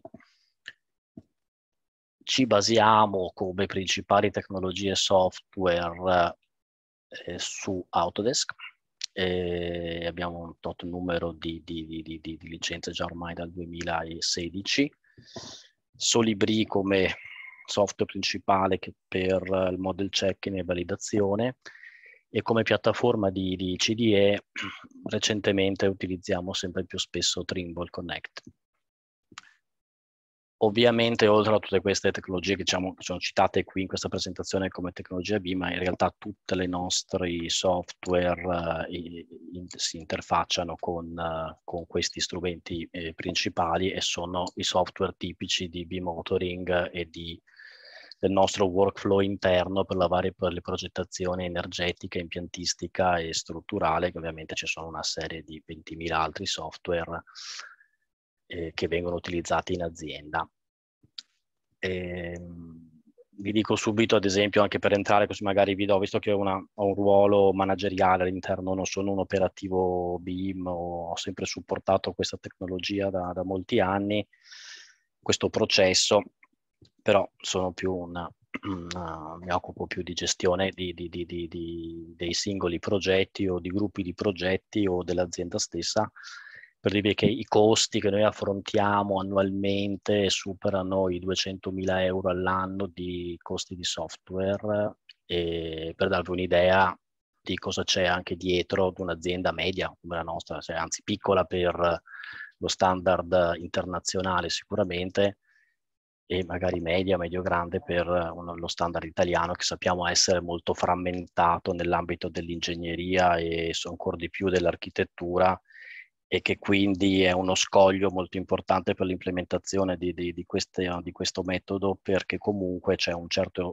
investimento sia nei, nei, software che poi come abbiamo discusso prima con i colleghi molto sulla formazione delle, del personale e sull'adattabilità della società di questi nuovi sistemi di condivisione dei dati. E qui va bene, le fasi del progetto le, le conosciamo, noi ci occupiamo pianificazione e progettazione, siamo coinvolti nella fase della costruzione perché offriamo ovviamente servizi di direzione dei lavori, siamo meno coinvolti nella fase di operate, della gestione dell'immobile perché non ci occupiamo molto di facility management e ovviamente poi noi ripartiamo con degli altri cicli progettuali. Cito questo perché ovviamente per me la, la cosa importante è capire qual è lo scopo del, del, del, del, BIM, il perché lo utilizziamo e qual è veramente il fine ultimo di questo processo che sicuramente ha dato, ci ha aiutato molto, ma ovviamente è stato anche ed è tuttora una, una, un qualcosa di, di, molto difficile, è stato un cambio abbastanza epocale su una società di ingegneria come la nostra che era completamente basata sul 2D e sul CAD e sulla tradizione, è stato uno sforzo che ha coinvolto non solo queste specifiche professionalità che via via abbiamo formato, raccolto, ma ovviamente chiunque qui dentro ha fatto corsi per anni per uh, capire di cosa stavamo parlando, per essere inseriti in determinati scambi di informazioni, perché ovviamente il valore della nostra società è dato anche dalle persone che, che lavorano qui e delle loro competenze maturate in decenni di esperienza e devono comunque essere coinvolte all'interno di questo um, processo. Sugli usi del modello che facciamo qui dentro sono un po', eh, credo, abbastanza standard. Ovviamente il modello BIM lo utilizziamo per poi estrapolare elaborati grafici, per fare il computo metrico. Dobbiamo fare, dobbiamo fare il, il, processo di model checking, di code checking, class detection, cose che abbiamo già, che sono state già citate prima, fino ad arrivare fino a analisi luminotecnica, quindi ogni, sono i vari usi del modello che qui dentro vengono utilizzati. Qui sorvolo, poi magari volevo andare più a parlarvi di qualche caso applicativo per entrare un pochino più, più nel vivo. E comunque sì, abbiamo vari workflow all'interno di questa, di questa società per le varie discipline. Poi abbiamo un protocollo IFC che ci consente di scambiarci con i vari software per poi arrivare a, a una, una, gestione, a utilizzare il modello come veramente fulcro di tutto quanto, per i computi, per la direzione dei lavori, per la manutenzione.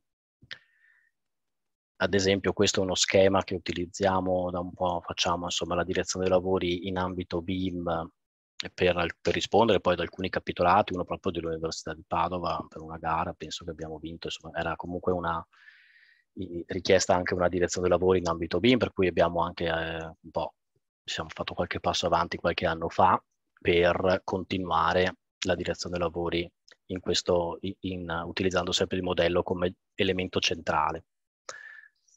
E, ehm, passo a descrivervi un caso applicativo così magari entriamo un pochino più nel vivo di quello che si respira poi in una società ingegneria come la nostra. Questo è un albergo che stiamo progettando per l'isola di Murano e siamo quasi addirittura d'arrivo, quindi siamo prossimi poi a lanciare gli appalti. In questo caso ci occupiamo del, di project management co- complessivo, costi e progetta- ingegneria di strutture, impianti e anche consulenze accessorie, quali consulenze di certificazione lead, acustica, ambientali. E quindi avevamo un ruolo abbastanza centrale che non è da sottovalutare nella, mh, di, di, come, di, quanto è più facile o difficile sfruttare un processo BIM pieno dipende molto anche dalla polverizzazione della, del, degli incarichi, dal numero dei consulenti e del fatto che noi come di ingegneria ci dobbiamo confrontare tutte le volte con delle organizzazioni diverse. Quindi se una società grande, strutturata, che, può, che racchiude al suo interno tutti i vari processi, può, non dico più facilmente, ma ha meno interferenze esterne nell'organizzazione del proprio lavoro in ambito BIM. Nel nostro caso, ovviamente, eh, siamo ogni volta, ogni progetto abbiamo stakeholder diversi, eh, consulenti o, o, subconsulenti o colleghi di, del, del project team diversi, chi è più che utilizza un sistema, chi ne utilizza un altro, committenti ovviamente sempre diversi e quindi è, ogni volta è un adattamento e quindi è lì anche la difficoltà di standardizzare il nostro lavoro, il nostro processo BIM all'interno della, della società. Nonostante questo abbiamo fatto direi un grosso lavoro per cercare di migliorare sia la, la riorganizzazione del flusso delle informazioni all'interno della nostra società, che anche adesso ci siamo basati su delle piattaforme di scambio che utilizziamo anche internamente proprio per evitare, come diceva prima Carlo Zanchetta, su, a livello insomma, molto più grande dell'Università di Padova, ma digitalizzare anche le informazioni in un gruppo anche piccolino come la nostra società, però è molto importante perché è il nostro valore. In questo caso siamo partiti da un capitolato informativo che era chiamato Project Brief, eh, redatto dal cliente e che dava un po' di indicazioni, anche se erano tuttavia molto scarne, devo dire, anche perché anche qui il cliente privato eh, con sede a Hong Kong eh, ha detto sì fate pure il BIM, va bene all'inizio, cioè, però sappiate che poi noi il tender lo facciamo a tradizionale, vogliamo i disegni in 2D, le specifiche tecniche stampate ed eventualmente il modello lo daremo al contratto per informazione se solo se lo vogliono. Questo per dirvi quando anche una, una committenza piuttosto importante, perché hanno so, decine di alberghi in giro per il mondo, poi alla fine il, eh, anche loro il BIM non lo hanno ben eh, assimilato. E questo non è solo un, un, caso isolato, ma è un tema abbastanza ricorrente nelle stazioni appaltanti, sia pubbliche che private, dove le, quelle private a volte anche loro per delle rigidità interne o forse perché anche all'estero forse sono anche meno, non è poi così diffuso come dicono, non hanno una manutenzione gest- basata sul modello BIM oppure sono ancora alla, agli inizi. Per cui ti dico, sì, fatti pure il tuo modello, però sappi che dopo io voglio le leocopie, me le spedisci cartacee ad Hong Kong, io mi faccio l'appalto con la carta, il blueprint.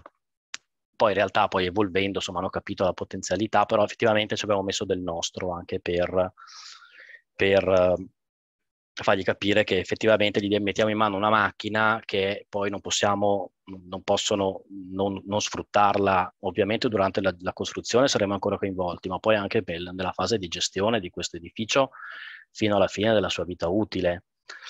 Noi partendo da quello abbiamo fatto il nostro BEP in cui abbiamo cominciato a inserire tutte le informazioni possibili con anche i nostri eh, colleghi gli architetto qui l'architetto Thun che è di Milano che era con noi in questo, in questo progetto, cominciare a darci gli obiettivi e gli usi dei singoli modelli fino a, a strutturare i vari, la suddivisione anche geometrica tra, de, de, dei vari modelli e siamo arrivati a un certo numero di modelli per, per le strutture, 10, 10, modelli per l'architettura e addirittura 20 per la parte impiantistica che poi finiscono in un modello federato.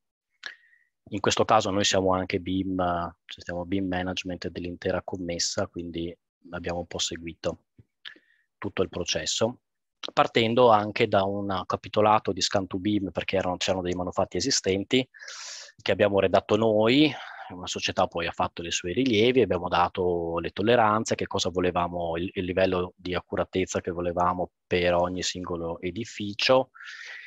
L'ho voluto mettere perché ci troviamo, e poi lo, lo, riassumerò poi alla fine, ci troviamo molto più, sempre più spesso a lavorare sul patrimonio edilizio esistente e se non si ha una conoscenza approfondita dell'esistente, non viene data attenzione, poi eh, i problemi vengono a galla più tardi durante il cantiere e, e, quindi è, diciamo, è anche quasi inutile sviluppare un modello poi magari di dettaglio con dei livelli di accuratezza molto elevati se poi alla base non abbiamo delle informazioni eh, e, dettagliate dell'esistente e questo non è banale, non è, più, non è più un problema di accuratezza dell'informazione geometrica perché quello poi adesso gli strumenti insomma si sono evoluti, così mi dicono a me i miei colleghi, insomma una volta c'erano i problemi sui fuori piombo, adesso insomma queste cose sono anche più superate, però è un problema informativo, è un problema che bisogna andare e bisogna mettere dentro che materiale è, bisogna, cioè è una, una, una, un insieme di indagini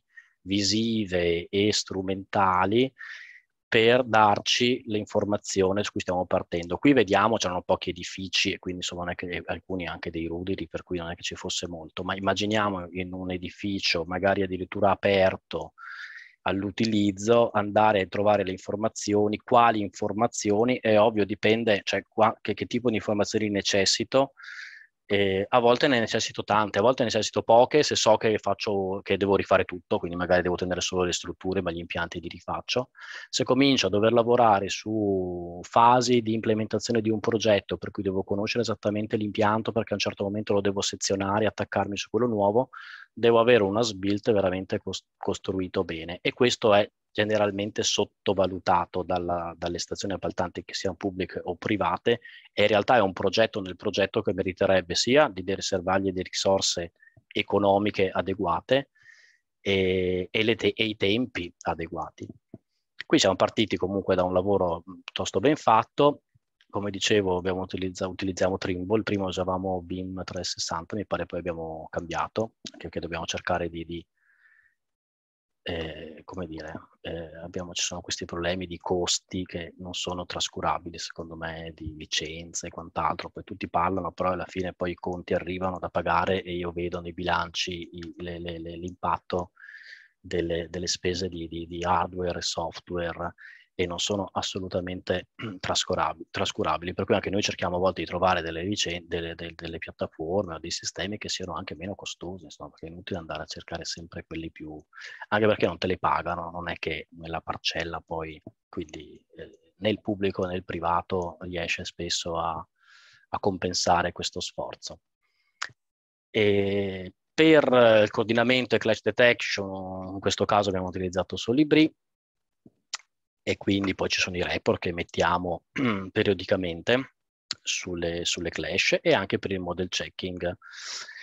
E quindi qui la, l'importanza dell'impostazione iniziale della VBS, perché ovviamente poi qui arriviamo poi al quantity take off diviso, seco- strutturato secondo una VBS concordata con il cliente, dove in alcuni casi abbiamo messo anche la fase di appalto, se già si sapeva che si voleva appaltare in un modo o dell'altro, prima un edificio dopo l'altro, prima una disciplina dopo l'altra, in, o degli early works perché c'erano delle, delle, lavorazioni che volevamo far partire in anticipo e quindi già inserirlo nel, all'interno del modello quel parametro in modo che poi i colleghi de, che si occupano di computazione potessero riuscire in modo un pochino più agevole ad estrarsi le quantità e ad averle già incanalate nel, nel, nel, nel posto giusto.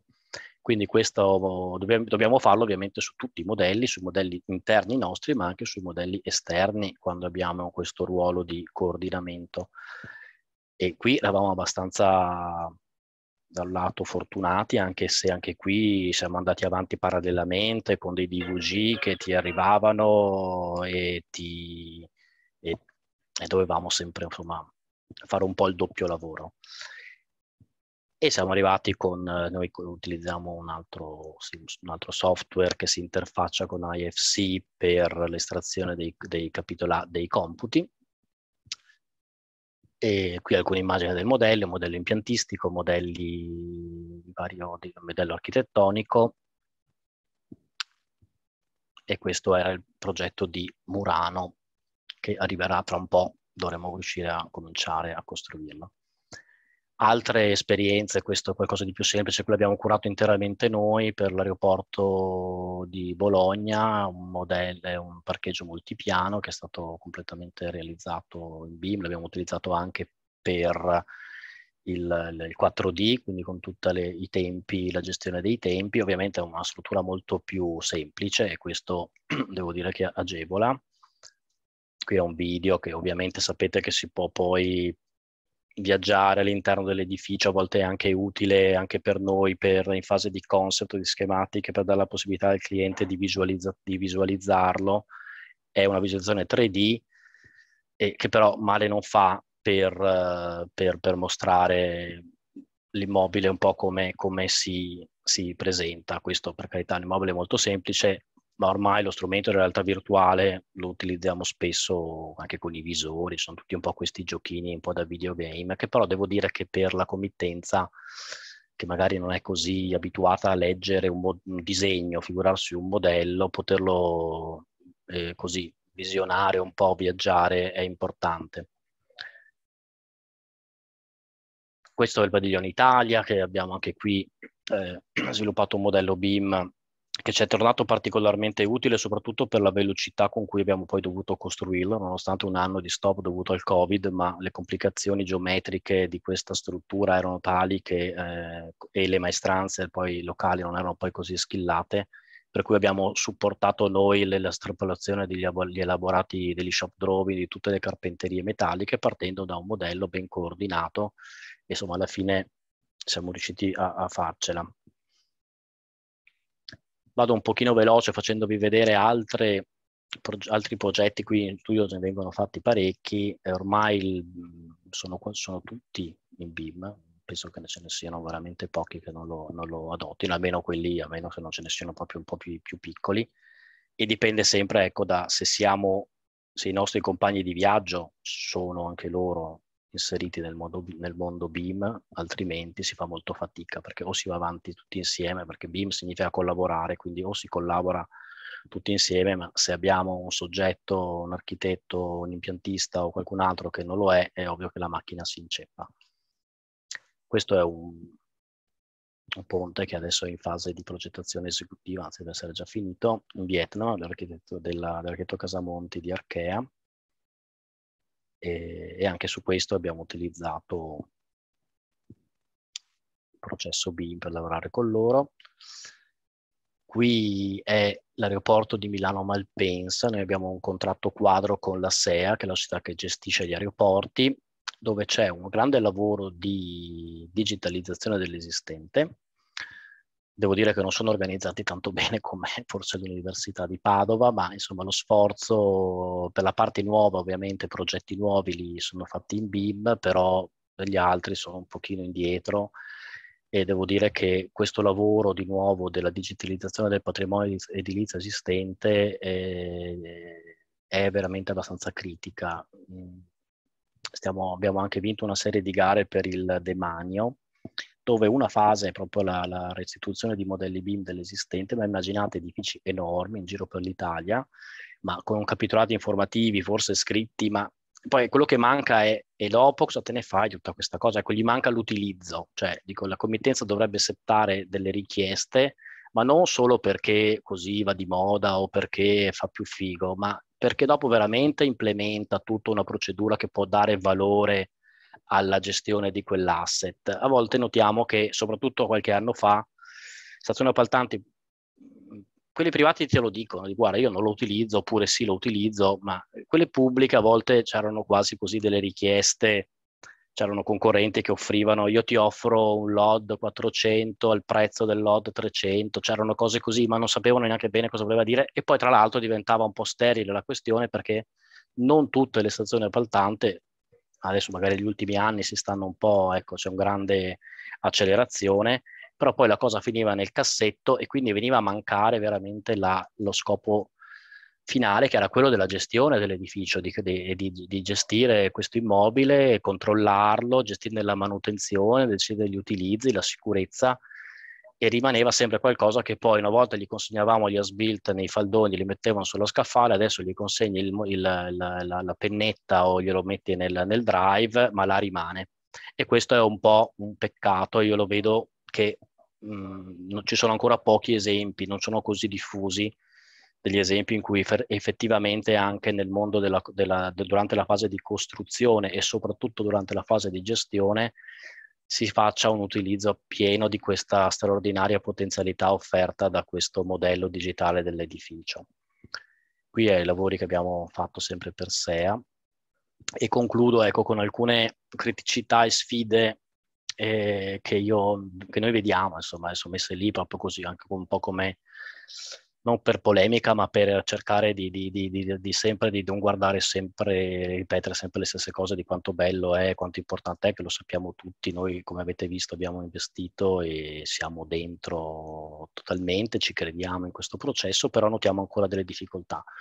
Difficoltà che sono tra inter- interoperabilità diciamo, verticale tra i software in ambito BIM, o come dire ci sono poche offerte commerciali, viviamo in dinamiche di monopolio e sappiamo quali sono i fornitori di software principali e, e questo ti porta a delle costi elevati di software perché non c'è una grossa una, una, se cominciano tutti quanti a scegliere un determinato prodotto e si fa fatica inter, a, ad avere una perfetta interoperabilità tra un prodotto targato una casa piuttosto che un'altra, perché comunque ti dicono sì, è interoperabile, però alla fine non è che sia proprio così facilmente interoperabile, allora tutti vanno verso a scegliere quello stesso prodotto e chi vende questo stesso prodotto ovviamente poi alza i prezzi.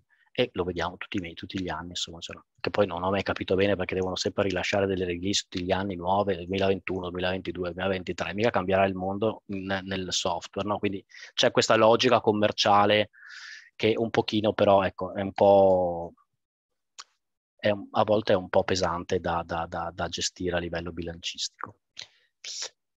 Poi c'è il livello di preparazione della committenza, cioè nel senso ci sono committenze molto preparate che sanno redigere un capitolato informativo, sanno quello che vogliono, sia in ambito pubblico che privato, a volte il pubblico è più avanti e il privato è più indietro, come ho fatto l'esempio prima, però ecco, dovrebbero avere, dovrebbero piano piano anche loro, eh, che è un lavoro enorme, mi rendo conto, ma questo obiettivo del BIM non deve essere solamente qualcosa che finisce così nell'ambito della, della, della, della gara di progettazione e di costruzione voglio il BIM perché so che adesso, insomma, così magari vado da... da cioè, lo devi sfruttare perché è, un, è, talmente potente che poi devi gestirlo per la manutenzione, per la gestione, lo devi avere delle figure che riescono a utilizzarlo e non farlo cadere. Abbiamo dei problemi di interoperabilità anche nei workflow interni, quelli che noi chiamiamo workflow orizzontali, eh, perché ovviamente tra un modello architettonico, un modello Revit, diciamo basato su Revit, e invece i software che utilizziamo per il calcolo strutturale o per l'efficienza energetica necessitano di livelli di dettaglio diversi e automaticamente c'è un, c'è un certo scambio, ma questo scambio non è poi sempre così eh, efficiente e quindi ci sono delle, delle semplificazioni che necessariamente devono essere fatte per taluni software che invece non valgono più quando invece devi fare questo famoso gemello digitale. Poi sono le competenze, diciamo, del BIM specialist, ma vale anche per il BIM coordinator, un po' per tutti quanti, e quindi c'è sempre questa discrasia tra progettista e modellatore e ovviamente è in, è in duplice senso, cioè il modellatore deve imparare che cosa significa, cosa sta modellando, perché possono esserci dei bravi, noi abbiamo assunto, trovato persone, bravi modellatori, ma poi cioè, se non sai la differenza, stai modellando una trave o un pilastro, è ovvio che c'è il problema della competenza di questi modellatori e in teoria dovremmo convergere verso un'unica figura, quindi anche i nostri progettisti diventano modellatori, i nostri modellatori diventano progettisti. Questo ovviamente è un, una formazione continua, un, porta dietro anche un investimento in termini di risorse abbastanza considerevole, e ci sono state, c'è sempre richiesto, anche noi cerchiamo sempre persone perché comunque abbiamo da un lato la fortuna ma anche dall'altro il, il, il, il problema di, di, di, di, fare questi progetti e di trovare le persone che siano, e, e quindi quando ti dicono ah c'è un bravo BIM specialist che però ha anche una formazione da progettista e quindi sa cosa sta modellando, ovviamente quello è trovarlo già pronto sul mercato è una cosa, è una cosa importante. Poi invece maturano qui dentro. Ripeto, le competenze BIM dell'intera filiera progettuale, se voi potremo avere anche dei bravissimi consulenti, può essere un lighting designer, un acustico, anche consulenze, perché ormai è talmente complicata la nostra professione che non possiamo sapere tutto, ci sono dei, degli specialisti. Se questi specialisti però ti dicono, ah ma io il modello non so e la, la piattaforma non la so utilizzare, io ti mando il disegno via fax, e ovviamente ti crea un, un problema nella, e se pensiamo che questo abbiamo anche progetti con 30-35 diversi consulenti all'interno, dovrebbero tutti quanti quantomeno masticare un pochino per, per consentire al processo di non rallentarsi. Ripeto ancora le ultime due, che, che sono quello che, che vedo poca implementazione BIM, soprattutto nella gestione dell'edificio e sul livello di conoscenza dell'esistente. È un problema secondo me sottovalutato anche dalle, dalle stazioni appaltanti o da, da, appunto dagli owner. Lo dicono sì, te lo mettono dentro nella progettazione preliminare, vai a farti anche le verifiche, però ecco è un po', cioè in realtà su, su edifici complicati è veramente un progetto nel progetto che merita tempo e risorse eh, adeguate anche economiche. Chiudo perché forse ho un po' sforato e vi ringrazio per l'attenzione. Grazie mille, ingegner Zaggia. Passiamo adesso invece al punto di vista dell'impresa di costruzione, quindi temporalmente lo step successivo alla, alla progettazione. Quindi do la parola a eh, Carrone SPA, più precisamente a Paolo Carrozza, Paola Carron e Tommaso Gasparin.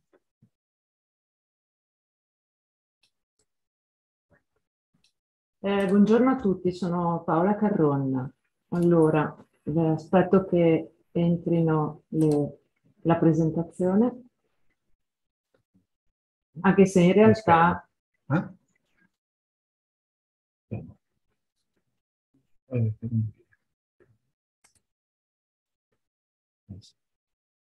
Ok, vediamo lo schermo con tutte le icone.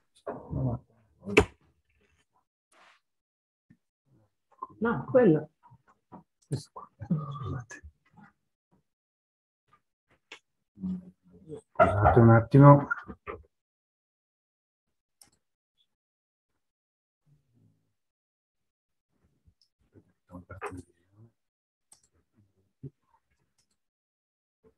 Vabbè, se volete io...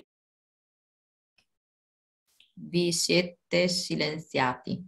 Uh, ok, perfetto. Ok, allora intanto parlo lo stesso. Grazie. Faccio un po' una presentazione di chi siamo e nel contesto al quale lavoriamo. Siamo un'impresa di costruzioni generali, abbiamo diciamo, un'impresa che ha fatturato nell'ultimo bilancio 2020 eh, 250 milioni di euro, abbiamo circa 260 dipendenti, eh, diciamo che eh, l'azienda eh, opera, abbiamo una sede eh, diciamo qui in provincia di Treviso e Carrombau che opera invece nel territorio dell'Alto Adige. L'impresa fa lavori privati, pubblici e anche in conto proprio eh, e lavori infrastrutturali, quindi diciamo che è un'impresa generale di costruzioni. Eh, I nostri clienti sono enti pubblici, sono committenti privati che operano, sono più che altro clienti istituzionali, quindi banche, compagnie assicurazione, fondi, eccetera. Ed è proprio partendo da loro che siamo, ci siamo avvicinati a questo percorso eh, di eh, trasformazione digitale, ecco, dove all'interno abbiamo iniziato ad affrontare l'approccio al BIM, perché abbiamo iniziato a fare eh, diciamo, le prime gare d'appalto con enti che ehm, ci chiedevano questa preparazione. E quindi da lì, diciamo, ehm, ci siamo avvicinati. Ma eh, quando parlo di digitalizzazione è in un senso più ampio per noi, nel senso che eh, digitalizzare significa anche migliorare la gestione delle informazioni con cui vengono sviluppati tutti i nostri eh, progetti. E secondo, ma non meno importante, abbiamo capito che digitalizzare significava innovare i processi della nostra azienda, rendendola quindi capace anche di affrontare eh, un mercato del futuro ed è proprio eh, quando parlo di processi aziendali mi riferisco proprio nello specifico al BIM. Però per questa trasformazione eh, l'azienda, diciamo, negli anni ha fatto degli investimenti importanti sia come software, hardware, ma soprattutto il cambiamento, l'investimento più importante è quello delle risorse umane. Quindi, ehm, eh, diciamo, investire nel, nelle nostre persone.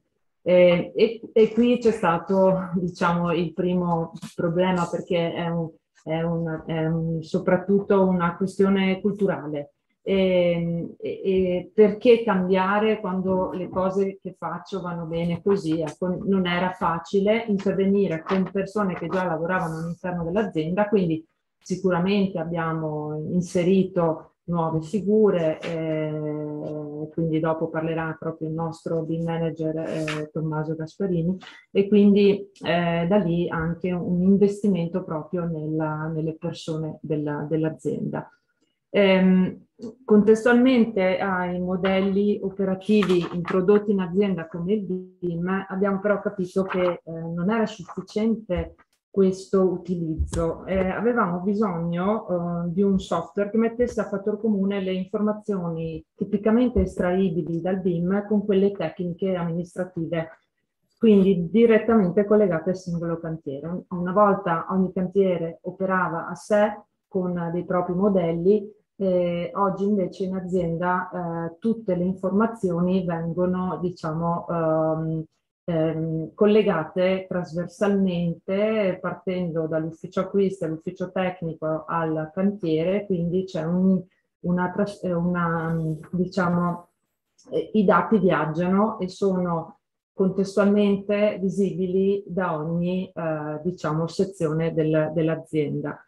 Eh, I vantaggi di questa conversione al digitale eh, sono, stati, sono concreti, in realtà ci porta l'azienda ad avere un monitoraggio costante dei costi, eh, ci permette di intervenire qualora sia necessario in modo eh, veloce, eh, ovviamente anche da, ehm, come elemento sostenibile anche un eh, diciamo, minore utilizzo della carta, ma soprattutto possiamo contare sulla statistica del dato. Ecco, quindi eh, diciamo che io ho fatto un po' un cappello su quelle che sono state le motivazioni come imprenditore eh, che ci ha portato ad avviare questo processo di trasformazione digitale dove all'interno sicuramente il BIM è intervenuto come uno degli elementi più importanti di trasformazione.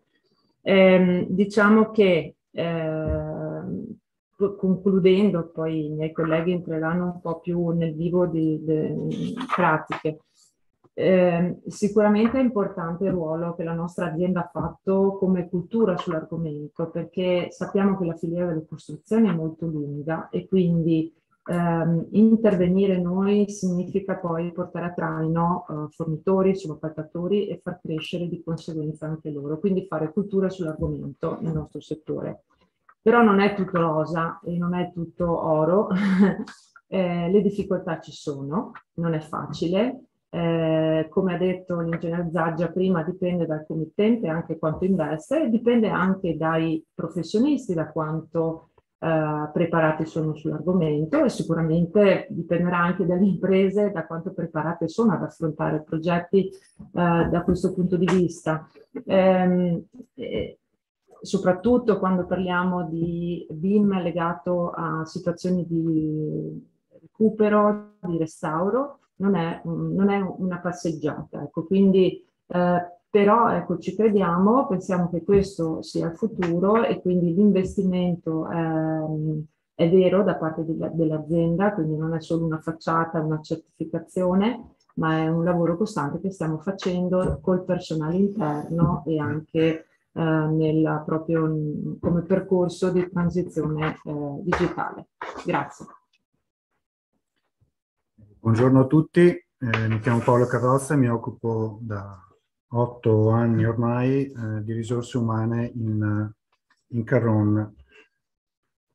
E dunque, in sede di preparazione di questo incontro, diciamo nelle, nelle regole di ingaggio, eh, ci è stato chiesto di testimoniare in modo sintetico e, e, e non tecnico, ecco, cioè non esclusivamente per addetti ai lavori, eh, come abbiamo affrontato genericamente parlando la, la transizione generale. E, e, possibilmente anche senza esibizione di successi e, palesando eventuali difficoltà, criticità uh, all'interno di questo, di questo capitolo. Io dicevo mi occupo di, di, risorse umane, quindi il mio intervento oggi è eh, puramente, diciamo così, organizzativo eh, narrare di come un'impresa di costruzioni che eh, è, è, un, è, un, player diverso rispetto a quelli che sono eh, precedentemente intervenuti, eh, ha affrontato questa tematica che per noi riguarda non soltanto, si focalizza non soltanto su, sul BIM,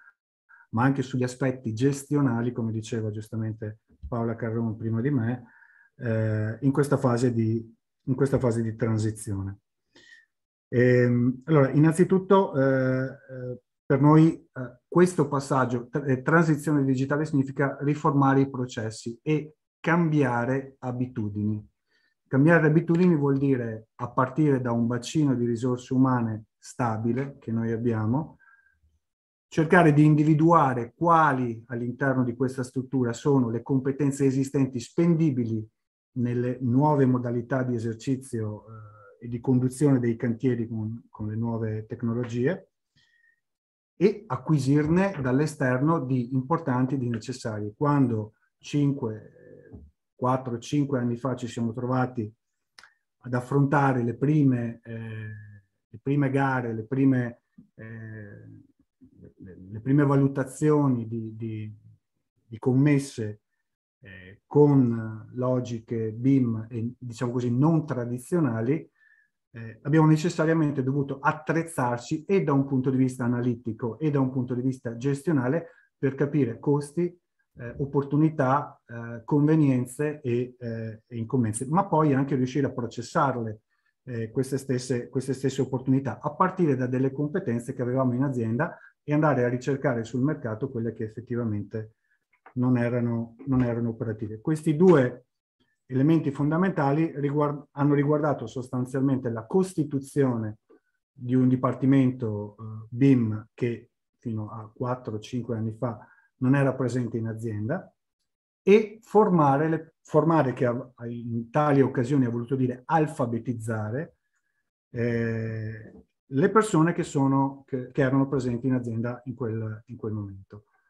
Ecco, solo per dare uno sguardo ed integrare quanto già anche detto dalla collega Paola Carron, questa è una semplicissima slide si capisce quanto eh, Carron Spa eh, consti attualmente più o meno attorno alle 200 persone e quanto di questo, di questo bacino di, di dipendenti eh, sia rappresentato dalla sezione impiegati tecnici, cioè coloro che naturalmente sembrerebbero, sembrerebbero essere più eh, naturalmente destinati ad un'attività di formazione specifica da, questa, eh, da queste nuove tecnologie, da queste nuove competenze.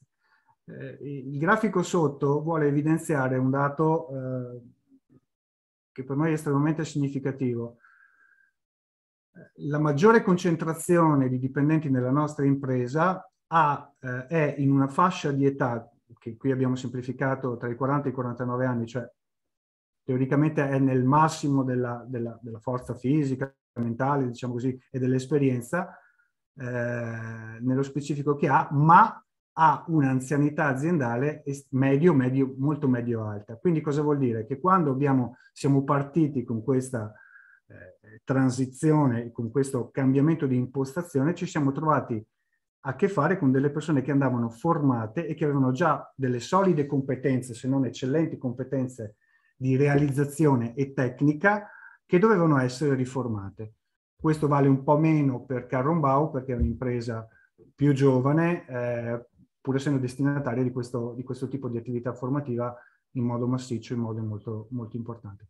In buona sostanza abbiamo avviato un'attività molto spinta eh, e che ha riguardato più o meno 130 persone tra entrambe le società, trasversalmente focalizzandosi maggiormente nella parte tecnica, cioè in coloro che conducono, che eseguono, che realizzano poi effettivamente tutte, eh, tutte le nostre commesse, ma riguardando anche trasversalmente altre tipologie di attività come la parte amministrativa, la parte dell'ufficio acquisti, la parte delle gare che in qualche modo eh, cooperano a, ehm, eh, sono, diciamo, a, eh, cooperano in qualche modo per la eh, conduzione gestionale non tecnica di questo, di questo tipo di, di, nuova competenza.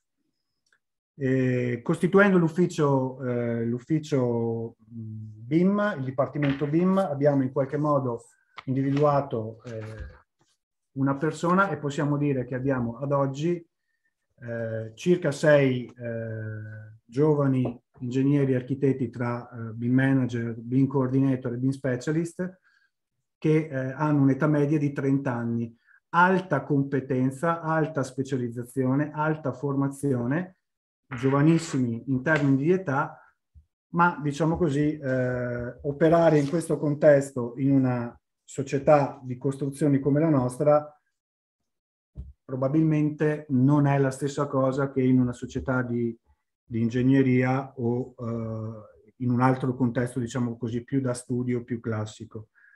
Eh, ci siamo meravigliati andando a ricercare sul mercato questo tipo di competenze per noi necessarie a, proce a processare eh, i progetti e, e, le realizzazioni in situ.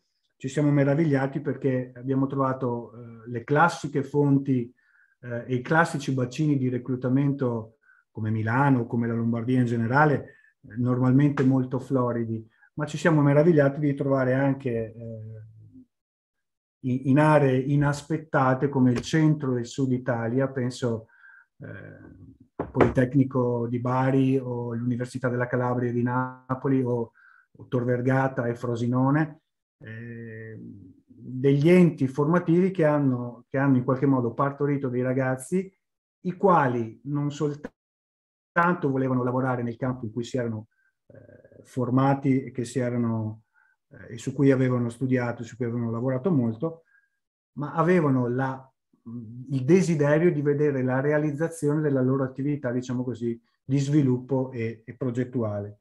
Nel nostro caso la competenza non, non basta. Eh, i, I BIM specialist e BIM coordinator sono avviati ad un'attività istruttoria e di sviluppo iniziale sulla commessa, ma legata anche direttamente al cantiere. Eh, scherzosamente e un po' sinteticamente noi usiamo dire eh, desiderano vedere i mattoni i nostri BIM specialist, cioè desiderano essere operativi direttamente in cantiere e operare non soltanto la realizzazione e lo sviluppo dei modelli, ma in qualche modo essere seduti a fianco ai nostri ingegneri, ai nostri architetti, ai nostri geometri di eh, navigata esperienza eh, per, la, per la, in qualche modo, esecuzione di questa, di questa attività.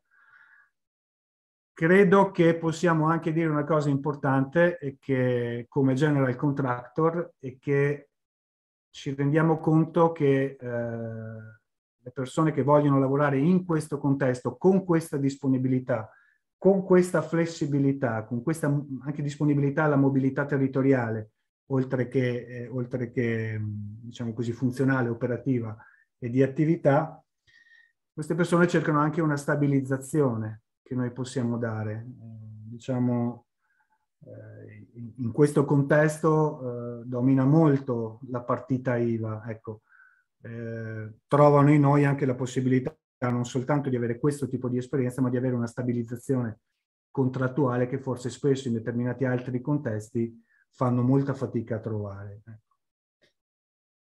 E come ultimo aspetto significativo per noi eh, cercano anche di far parte di una squadra, eh, di far parte di una famiglia e di far parte di un'impresa che in qualche modo è loro vicina e, e, e li segue sia nella loro crescita che nei loro eh, successi eh, all'interno del, del cantiere. Ecco, per gli aspetti più tecnici lascerei la mia parola a eh, Tommaso Gasparini. Sì, buonasera a tutti. Vedrò di essere abbastanza sintetico, visto che molte cose sono state anche dette effettivamente fin qua. E andando un attimo, eh, definite quelle che sono le strategie, gli obiettivi aziendali, sono stati gli obiettivi aziendali e, e definito anche quello che è la parte, diciamo, appunto di, di competenze umane. Eh, vorrei un attimo eh, riprendere quelli che sono gli ambiti che portano all'implementazione del BIM, diciamo, se così possiamo chiamare, o, ehm, in una realtà come eh, un'impresa di costruzioni. Eh, si parte sicuramente dalle persone, questo è già stato detto, c'è un tema di mh, scrittura, di definizione di processi e soprattutto di schematizzazione di processi, perché questi processi vanno trasferiti e vanno eh, inseriti all'interno di strumenti appunto informativi che però devono essere basati su regole ben precise. Eh, c'è un tema di linguaggio, dove per linguaggio si intende quella codifica che è stata già citata da Carlo Zanchetta in ambito diciamo, globale, anche all'interno dell'azienda serve una classificazione, un linguaggio che serva al tecnico di cantiere come ai fini di bilancio, per capirci, e quindi che in qualche modo mi permetta di partire da quello che è un, un progetto e arrivare a una costruzione, a un handover, ma anche a questioni di gestione aziendale, appunto. E il tema di linguaggio è fondamentale nella costruzione della transizione digitale e dell'implementazione del BIM, ma soprattutto eh, è, è, fondamentale per poi introdurre degli strumenti che sono, eh, funzionano con eh, linguaggi standardizzati. Gli strumenti sono l'ambito, diciamo, eh, più semplice, tra virgolette, e più spinoso perché eh, implementare diciamo, questa transizione digitale parla molto di integrazione di sistemi e di software, di interoperabilità di software, quindi quello, diciamo, quando si parla di software non è tanto la disponibilità delle funzioni in sé, ma è la possibilità che questi software dialogano tra loro attraverso varie funzioni e che sia garantita l'interoperabilità. Do... Ok. Il percorso ci ha portato, che abbiamo fatto comunque per le esigenze delle committenze, per quello che abbiamo deciso di sviluppare internamente, ci ha portato già ad avere alcune esperienze. Qui ci sono alcuni numeri che di per sé bah, sono relativi, diciamo. Posso dire che abbiamo già concluso sette commesse BIM, consegnato dei modelli collaudati, consegnato dei modelli collaudati rilacciandomi anche a quello che dicevano prima, che diceva prima l'ingegnere Zaggia su eh, requisiti e la committenza sull'utilizzo in fase di facility management, sette modelli collaudati, sette modelli messi su una chiavetta o su un eh, CDE abbandonati là perché lato committente non sappiamo bene cosa farcene.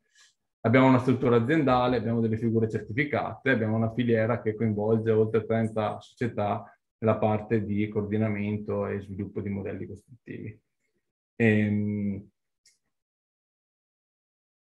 andando a, ehm, il, diciamo, alle opportunità e alle criticità, dove per opportunità, riprendendo sempre cosa è stato detto prima, sono situazioni che ci hanno portato a produrre valore all'interno dell'azienda e per criticità per noi sono mancata produzione di valore data da quello strumento.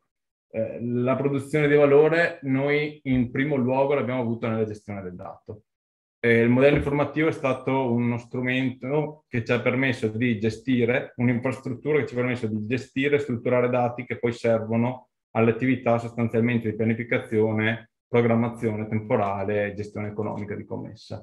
Eh, bisogna dire che tre anni fa eh, avevamo un sistema molto meno elaborato di classificazione di tutta quella che è la parte di budgetizzazione, così come della programmazione, e la transizione a un sistema più evoluto, quindi banalmente un programma valorizzato che ci permette di monitorare in modo puntuale quella che è l'evoluzione della produzione in cantiere, è stato possibile solo grazie a dei modelli che ci danno dei dati strutturati e che ci permettono di gestirli in modo anche visuale, mi da dire in certi casi, perché di per sé il dato eh, non contestualizzato è di difficile comprensione anche da parte del tecnico di cantiere.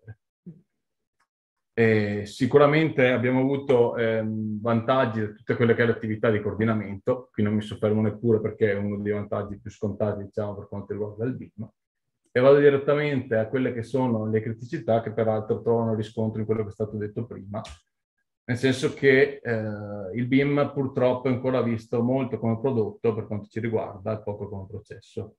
È un problema sostanzialmente di filiera, noi ci troviamo tra dei committenti eh, che magari hanno incaricato un progettista eh, e che ha sviluppato una progettazione in BIM anche ben fatta, un subappaltatore che magari il BIM non sa neppure che cosa sia, dobbiamo fare da accentratore anche di, diciamo, de, della gestione informativa di tutti i dati che girano attorno alla commessa, molto spesso senza avere dei requisiti specifici.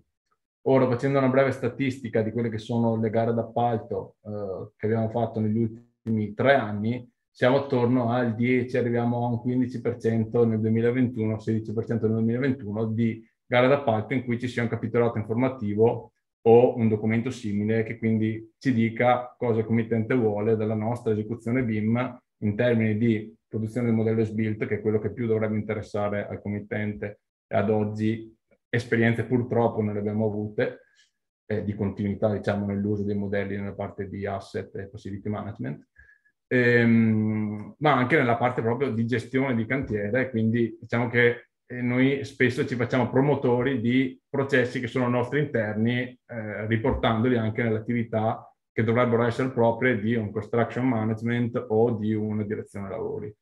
Eh, proprio perché è una questione di filiera, dobbiamo essere pronti noi, deve esserci una controparte che è la direzione lavori, perché se io ti presento la contabilità con il modello e nessuno mi apre quel modello per verificare che la contabilità sia corretta, diciamo, non stiamo creando valore aggiunto da nessuna parte.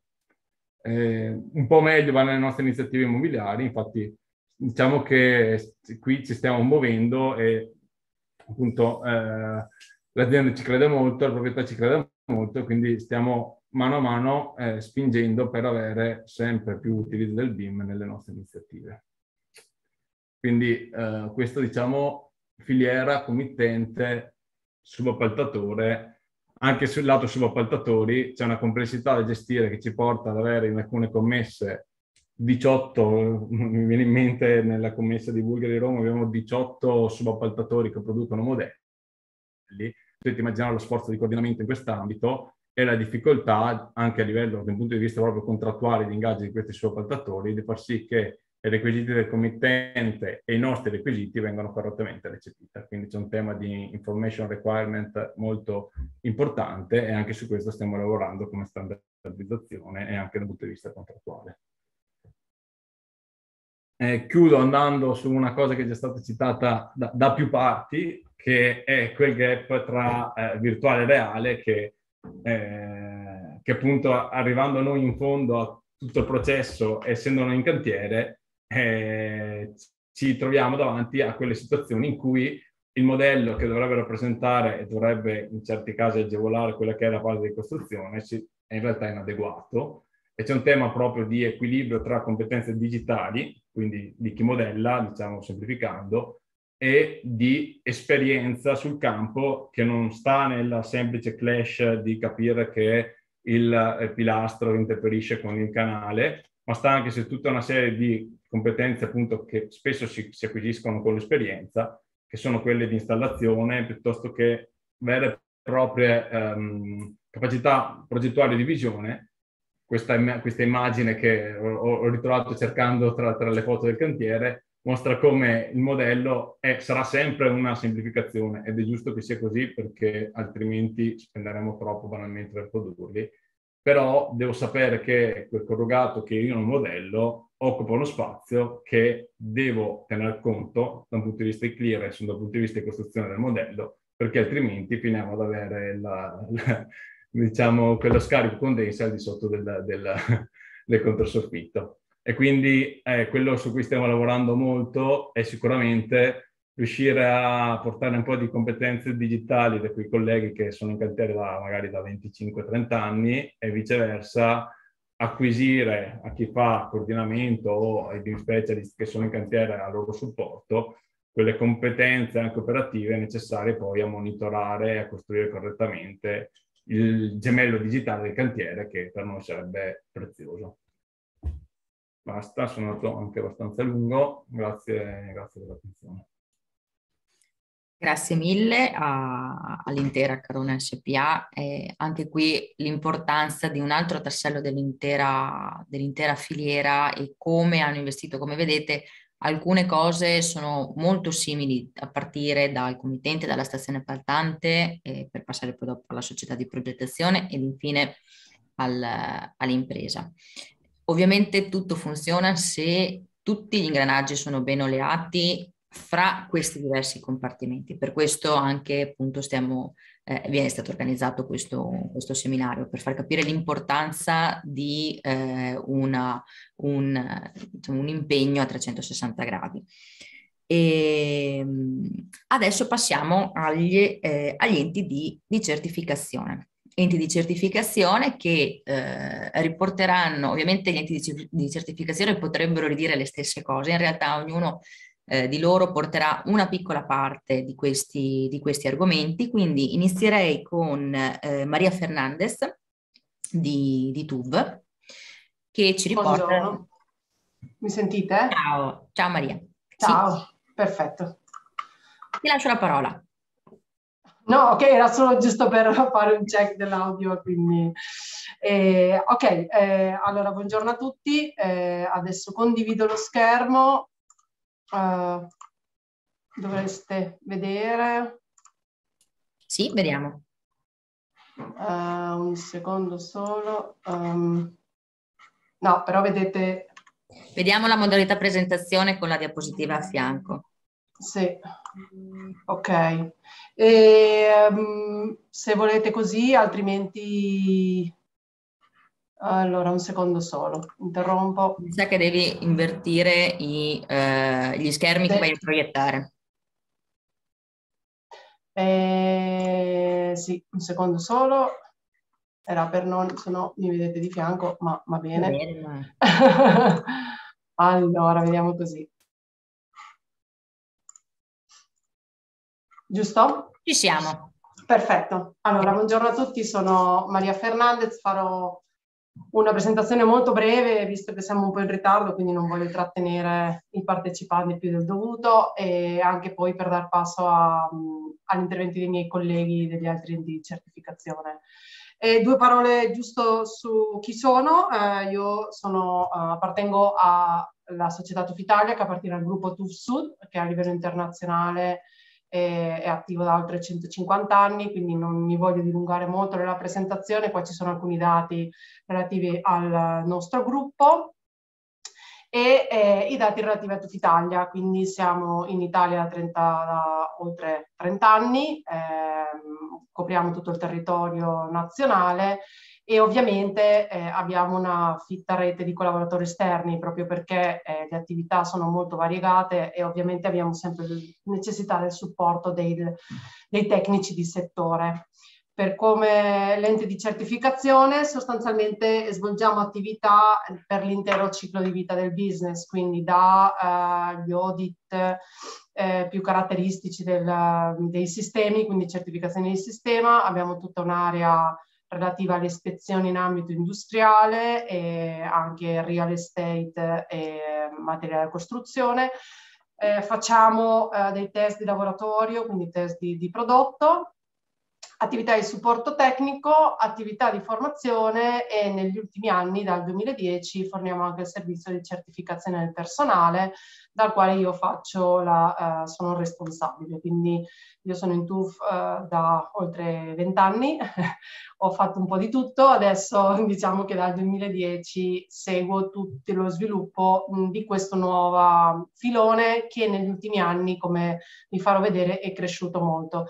Ecco, io non parlerò della certificazione specifica BIM, lascerò quello ai miei colleghi mh, proprio perché, come diceva Dinora, evitare eh, di ripetere tre volte le stesse cose, ma eh, quello che eh, mi interessa è quello di farvi una sorta di presentazione su che cosa è la certificazione, cioè tutti abbiamo parlato di competenze, abbiamo parlato di certificazioni, accreditamenti, norme, ecco eh, come funziona questo mondo, mondo che eh, se uno non fa parte non è detto che, che ne capisca tutti i meccanismi, quindi eh, nell'ambito delle certificazioni, tra, tra, le quali ovviamente la certificazione BIM sia sistema che ehm, persone, eh, e eh, diciamo possiamo dire suddiviso in tre mondi. Eh, uno è norm- è il, mondo della normazione che è formato da organismi che eh, sostanzialmente elaborano le norme tecniche, quindi norme tecniche sono degli elaborati degli strumenti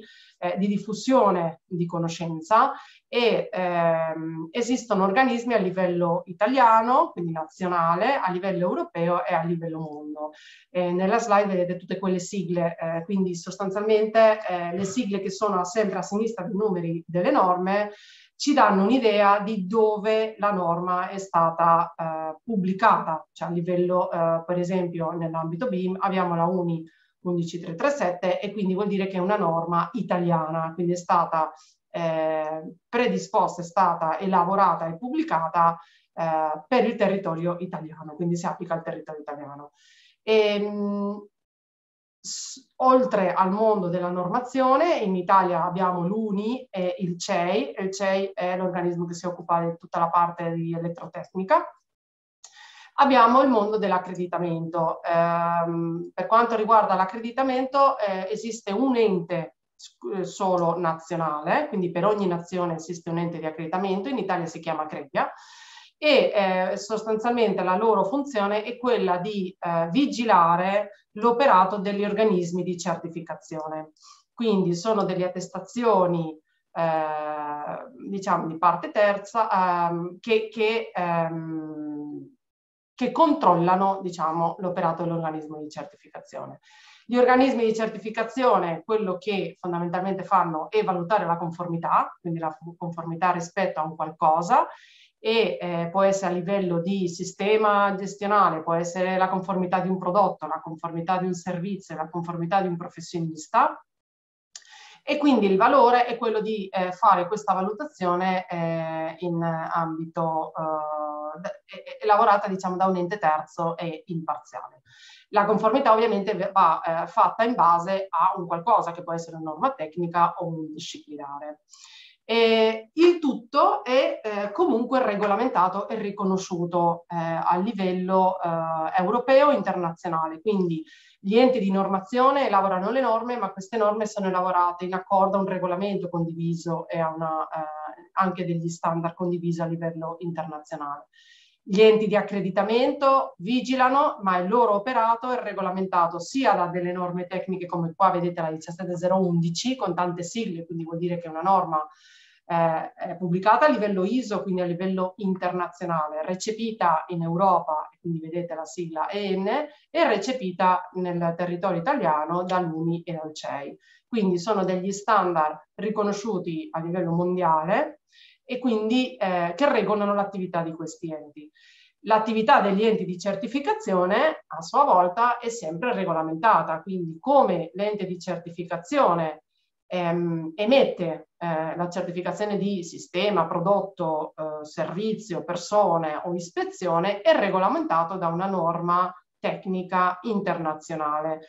Nell'ambito del BIM quindi si applicano due norme, si chiamano norme di accreditamento perché sono quelle norme che si applicano eh, agli enti e non ai clienti finali, che sono la 17024 per quanto riguarda la certificazione del personale e la 17021 per quanto riguarda il sistema di gestione BIM. Ehm, il tutto ovviamente eh, c'è anche una regolamentazione per quanto riguarda la, eh, le autorità pubbliche, quindi la vigilanza sul mercato. Quindi tutta eh, l'architettura, tutta l'architettura delle certificazioni è comunque un'architettura ehm, condivisa e eh, che ha delle regolamentazioni a livello eh, internazionale.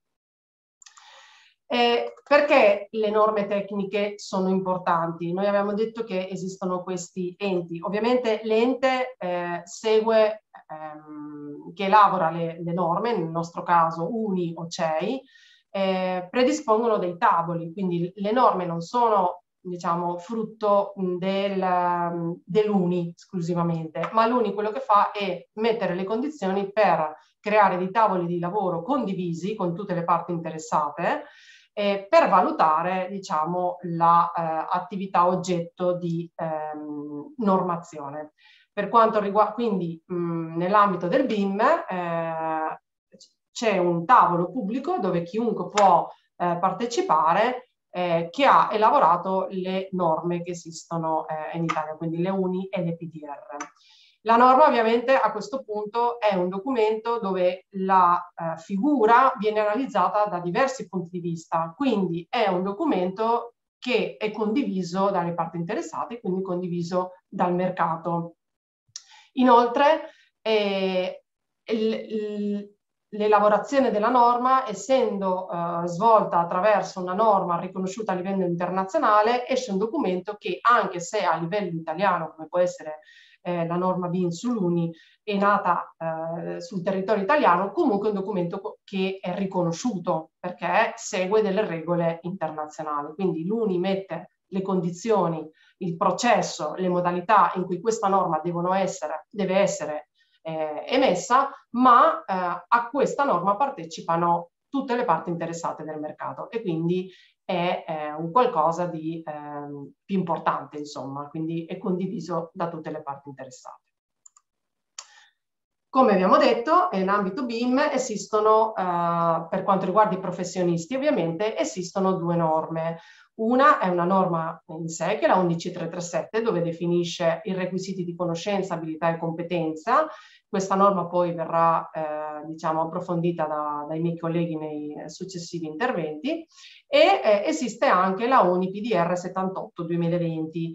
In realtà questa norma ehm, si applica più agli enti di certificazione perché l'obiettivo di questa prassi non è una norma in sé, ma è una prassi di riferimento. Le prassi di riferimento sono delle norme, fra virgolette, leggere che eh, fanno sì che possano essere messe in un tempo eh, ridotto rispetto a un'analisi, a una norma tecnica ehm, principale e poi se viene applicata al, al, passare di una serie di anni può diventare norma tecnica. Quindi eh, sostanzialmente ha le stesse eh, requisiti, quindi le stesse valori della norma, però il, il processo è un po' più velocizzato.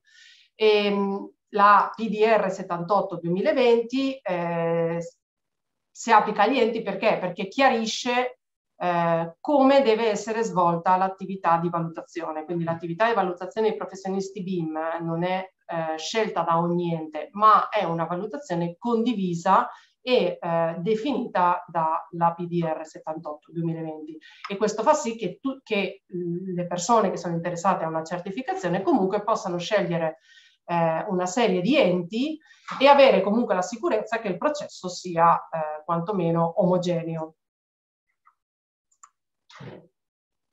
Abbiamo anche detto che è importante eh, l'accreditamento. Perché è importante l'accreditamento? Perché attraverso l'accreditamento eh, il cliente finale può avere una garanzia maggiore che la certificazione che gli viene eh, rilasciata eh, e a sua volta controllata da eh, un ente, quindi l'operato dell'organismo è controllato ma eh, questa certificazione ha anche una valenza a livello internazionale. Perché? Perché il nostro organismo di accreditamento Accredia eh, ha comunque firmato degli accordi multilaterali per i quali eh, gli accreditamenti eh, italiani sono, hanno comunque un riconoscimento a livello internazionale. Quindi una certificazione BIM rilasciata da un ente accreditato, oltre che avere maggiori garanzie eh, dell'operato dell'organismo di certificazione ha anche una validità ehm, riconosciuta a livello internazionale. Quindi è molto importante eh, da questo punto di vista scegliere l'organismo di certificazione. Perché è, è, bisogna valutare che l'organismo di certificazione sì sia accreditato per quanto riguarda la certificazione del personale, ma anche quell'accreditamento sia esteso alle figure BIM, perché un ente può essere accreditato, ma non, può non essere accreditato per queste per le figure BIM, può essere accreditato per altre figure. Come eh, i clienti possono, quindi eh, i professionisti possono scegliere questo organismo? Eh, per sapere sì, se un organismo è accreditato per la certificazione che ci interessa, eh, questi ehm, può essere visitato il sito di Accredia. Quindi eh, nel sito di Accredia, nell'ambito della banca dati, esiste la parte relativa agli organismi accreditati e riconosciuti e quindi cercando il nome dell'organismo, eh, il cliente finale, il professionista, può andare a verificare che questo organismo sia accreditato per i profili BIM oppure mh, mm, non lo sia. Insomma. Quindi eh, questo è una, sicuramente una garanzia anche perché eh, gli organismi accreditati subiscono anche delle verifiche periodiche, quindi eh, sicuramente ha una valenza maggiore.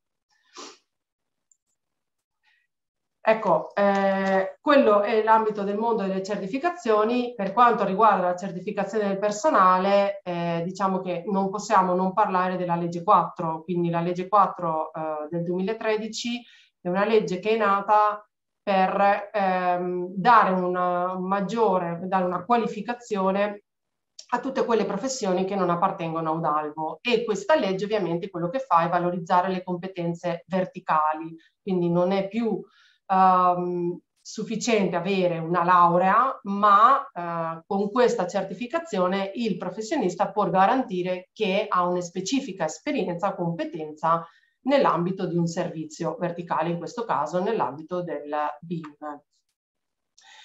La legge 4 quindi ha definito un, questo sistema di qualificazione, quindi la legge definisce che eh, un professionista nell'ambito del, delle professioni si può qualificare in base a tre livelli. Un primo livello è che il professionista un, cioè, si autovaluta e quindi rilascia un'autodichiarazione e quindi eh, è il livello diciamo zero. Poi c'è un livello 1, eh, possiamo dire, che è il livello delle attestazioni di qualità. Queste attestazioni di qualità vengono rilasciate dalle associazioni di categoria che eh, sono eh, scritti in un albo specifico del Ministero dello Sviluppo Economico, quindi solo quelle associazioni possono rilasciare questa attestazione di qualità e eh, vengono rilasciate sulla base di, di, una serie di requisiti e di criteri che l'associazione ha definito e che l'associazione verifica che i propri associati ehm, soddisfino diciamo, questi requisiti. E la garanzia del sistema diciamo, di questo tipo di eh, attestazione è quella eh, che comunque queste associazioni sono inserite in un elenco specifico e quindi c'è una verifica da parte del Ministero. Il livello diciamo, di, di, qualificazione più alto è stato dato agli organismi accreditati, quindi alla certificazione di conformità certificazione che viene effettuata sulla base eh, di una verifica di requisiti non definite diciamo dall'organismo ma da norme uni.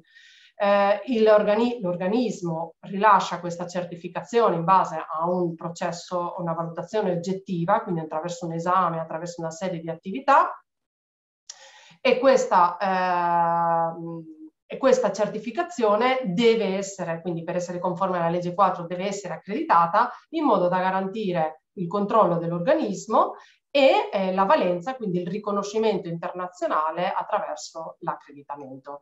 Quindi sicuramente è lo strumento migliore, diciamo, per eh, attestare delle competenze in maniera oggettiva. Ecco. E cosa ha prodotto la legge 4? Ecco, questa slide sono dei numeri di ehm, organismi di certificazione e ovviamente i dati riportati sono estratti da sempre al sito di Accredia perché lo stesso che ci sono gli organismi, quindi che io posso verificare se un organismo è accreditato, posso anche verificare nello stesso sito di Accredia se un professionista è certificato o meno. Mm. E attualmente ci sono 60 organismi di certificazione, del personale, quindi che rilasciano certificazioni in ambito eh, professionale, quindi dei professionisti. Ci sono 329 figure professionali che possono essere certificate e oltre 140.000 professionisti certificati. Nella parte destra della slide vedete i numeri in ambito BIM, quindi in ambito BIM oggi ci sono sei organismi di certificazione che hanno l'accreditamento, quindi questi, questi numeri parlano solo in ambito accreditato. Eh, si possono certificare quattro figure BIM e oggi eh, sul registro sono presenti 1680 professionisti certificati già eh, per quanto riguarda la UNI 11337-7. Perché è eh, utile la certificazione? Eh, sicuramente per valorizzare quelle competenze che eh, anche nel, negli interventi precedenti abbiamo sentito e ovviamente innalzare eh, il livello di qualità del servizio che eh, viene erogato, ma la certificazione rispetto a un'attestazione o rispetto a un percorso formativo ha anche una valenza di continuità, perché per poter mantenere la certificazione il professionista deve dimostrare comunque che continua ad aggiornarsi, quindi deve dimostrare un mantenimento di queste competenze, per cui è un qualcosa che è sempre attivo e sempre, eh, ed è costantemente sotto valutazione. Ecco, la certificazione, abbiamo parlato di certificazione di competenza, quindi il professionista deve avere la competenza e quindi la messa, diciamo, la, la, la, la mm, messa in pratica delle conoscenze che ha.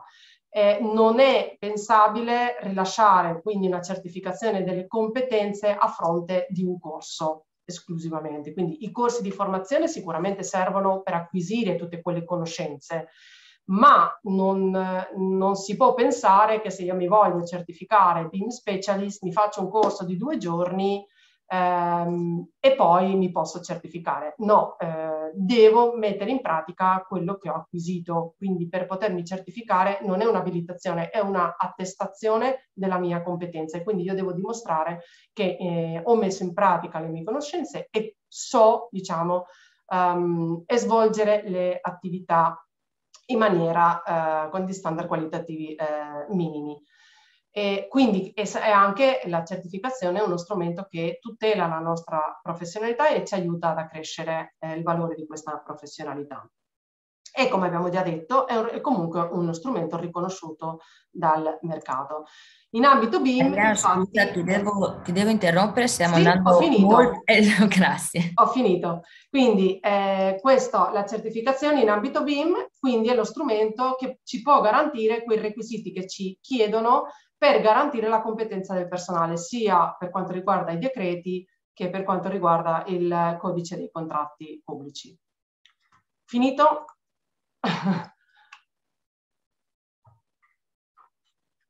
Eccomi qua, grazie Ok. mille.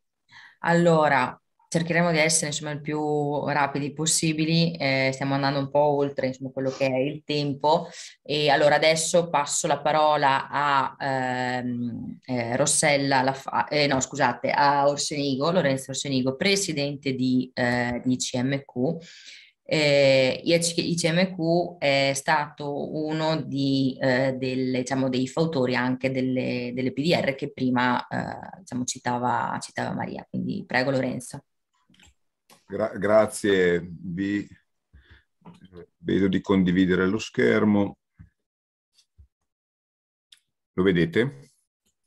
Sì. Perfetto, allora adesso metto anche la modalità presentazione se ci riesco. Ok, vi ringrazio, eh, ringrazio tutti per la partecipazione, per la pazienza, ringrazio gli organizzatori per, per l'invito. Eh, io non ho messo delle, de, una presentazione di CMQ, ma potete andare a vedere sul nostro sito icmq.it che cosa facciamo, eccetera. Noi dico solo che siamo specializzati nel settore costruzioni, quindi è stato un po' naturale anche che noi ci siamo occupati di BIM a partire dal 2015.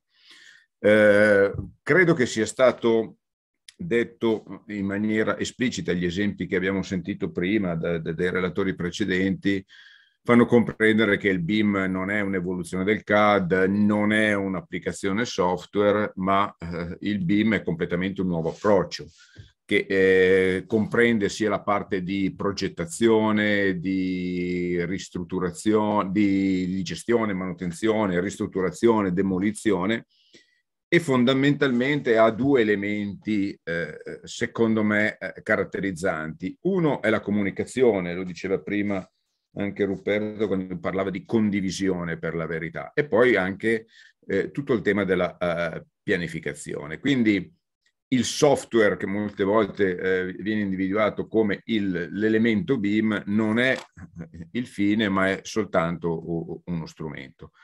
Il BIM, come abbiamo visto anche dai racconti precedenti, si occupa di tutto il ciclo di vita, quindi i benefici eh, eh si hanno soprattutto nelle fasi dopo la progettazione, che sono la fase di costruzione, l'operation and maintenance, così come anche le eventuali fasi di demolizione o renovation. Quindi il BIM, abbiamo detto, è, un processo e quindi eh, che coinvolge tante parti interessate che devono dialogare e, e, e, condividere, quindi il committente, i progettisti, imprese di costruzione, gestori di immobili. E questi, devono, questi processi devono essere adeguatamente, adeguatamente eh, governati, nel senso che, come vedete qua, io ho un, una maggiore, eh, diciamo, uh, necessità di tempo in progettazione, ma risparmio sicuramente poi nelle fasi, nelle fasi successive. È chiaro che se non ho un processo ben gestito e arrivo a un certo punto e così detto andiamo in panico perché non riusciamo a, a, a continuare sulla strada seguita, questo ha degli extra costi e, del, e delle difficoltà che ovviamente sono, sono uh, notevoli. Quindi quello che eh, io raccomando e, e, e, cerco di spiegare è che essendo un processo ci vuole un sistema di gestione di processo. E questo è il motivo per cui eh, noi siamo partiti nel 2015, poi insomma nel 2016 abbiamo costituito un gruppo di lavoro invitando i nostri soci, Building Spa, qua vedete le persone che, eh, cioè gli enti che hanno collaborato alla eh, stesura di una specifica tecnica per un sistema di gestione eh, per il BIM. Non era ancora disponibile all'interno delle norme della serie 11337, che sono tutto il pacchetto di norme che governa, che governa il BIM, e quindi ci siamo messi a fare questo lavoro. La specifica tecnica che avevamo eh, redatto vabbè, a parte fare un, un, un'analisi di se c'era in giro qualcosa, e non c'era, eh, sostanzialmente ci siamo affidati alla, alla, alla struttura dei norme de, dei sistemi ISO, c'è una struttura codificata e quindi permette questo di, eh, la cosiddetta ISO High Level Structure, permette di interfacciare bene questa specifica tecnica con le norme ISO 9000, 14000, cioè quelle che normalmente si trovano già all'interno, all'interno delle. Dopodiché nel 2019 abbiamo deciso, dopo aver fatto esperienza sul campo, certificato un po' di aziende, che, di condividere col mercato. Quindi questa, uh, questa specifica tecnica è diventata una prassi di riferimento, la UniPDR 74, e eh, è una, eh, liberamente scaricabile dal sito Uni, quindi la potete, la potete utilizzare ed è una norma uh, uh, liberamente utilizzabile oramai anche dagli altri organismi di certificazione, quindi l'abbiamo resa pubblica e disponibile, disponibile a tutti. Ehm, dicevo prima si integra, si integra bene con l'ISO 9000, qua c'è, un sommario, ma è stata pensata proprio in ottica certificativa, quindi per certificare un sistema di gestione, di gestione BIM. Eh, quello che vediamo sul mercato a volte è un po' di confusione, eh? perché eh, molte volte nelle stazioni, le stazioni appaltanti chiedono eh, certificazione BIM generica. Alcuni diciamo così, mh, mm, mi viene voglia di definirle furbetti, cosa fanno? Eh, certificano l'ISO 9001 e, e, nello scopo della certificazione fanno scrivere anche progettazione BIM. Allora, questo non dà alcuna garanzia che ci sia un sistema di gestione BIM eh, eh, eh, specifico, perché effettivamente la ISO 9001 uno va a vedere che quel processo in qualche maniera è governato, ma non è detto in, in base a quali requisiti. Quindi io invito anche le stazioni appaltanti, soprattutto le stazioni appaltanti, laddove eh, mettono nei bandi dei criteri premiali di specificare certificazione accreditata, perché c'è uno schema di accreditamento per la PDR 74, accreditata del sistema di gestione B in conformità alla UNI PDR 74 eh, eh, 2019. Avendo un bando chiaro, questo evita anche eh, possibili contenziosi in, in, in fase di gara. Eh, quali sono i vantaggi di, di, di, di, certificare un sistema di gestione BIM? Beh, innanzitutto in termini di comunicazione, come referenza per la propria azienda, quando Italfer ha ottenuto la nostra certificazione, ha pubblicato una notizia ANSA in 87 paesi del mondo in cinque lingue, quindi questo fa capire bene quanto sia eh, diciamo, importante la fase comunicativa. Ma ovviamente ci sono tanti altri vantaggi anche più intrinseci, che sono quello di governare un processo aziendale. Questo abbiamo sentito le testimonianze di aziende, di, di progettisti, di, di stazioni appaltanti, eccetera.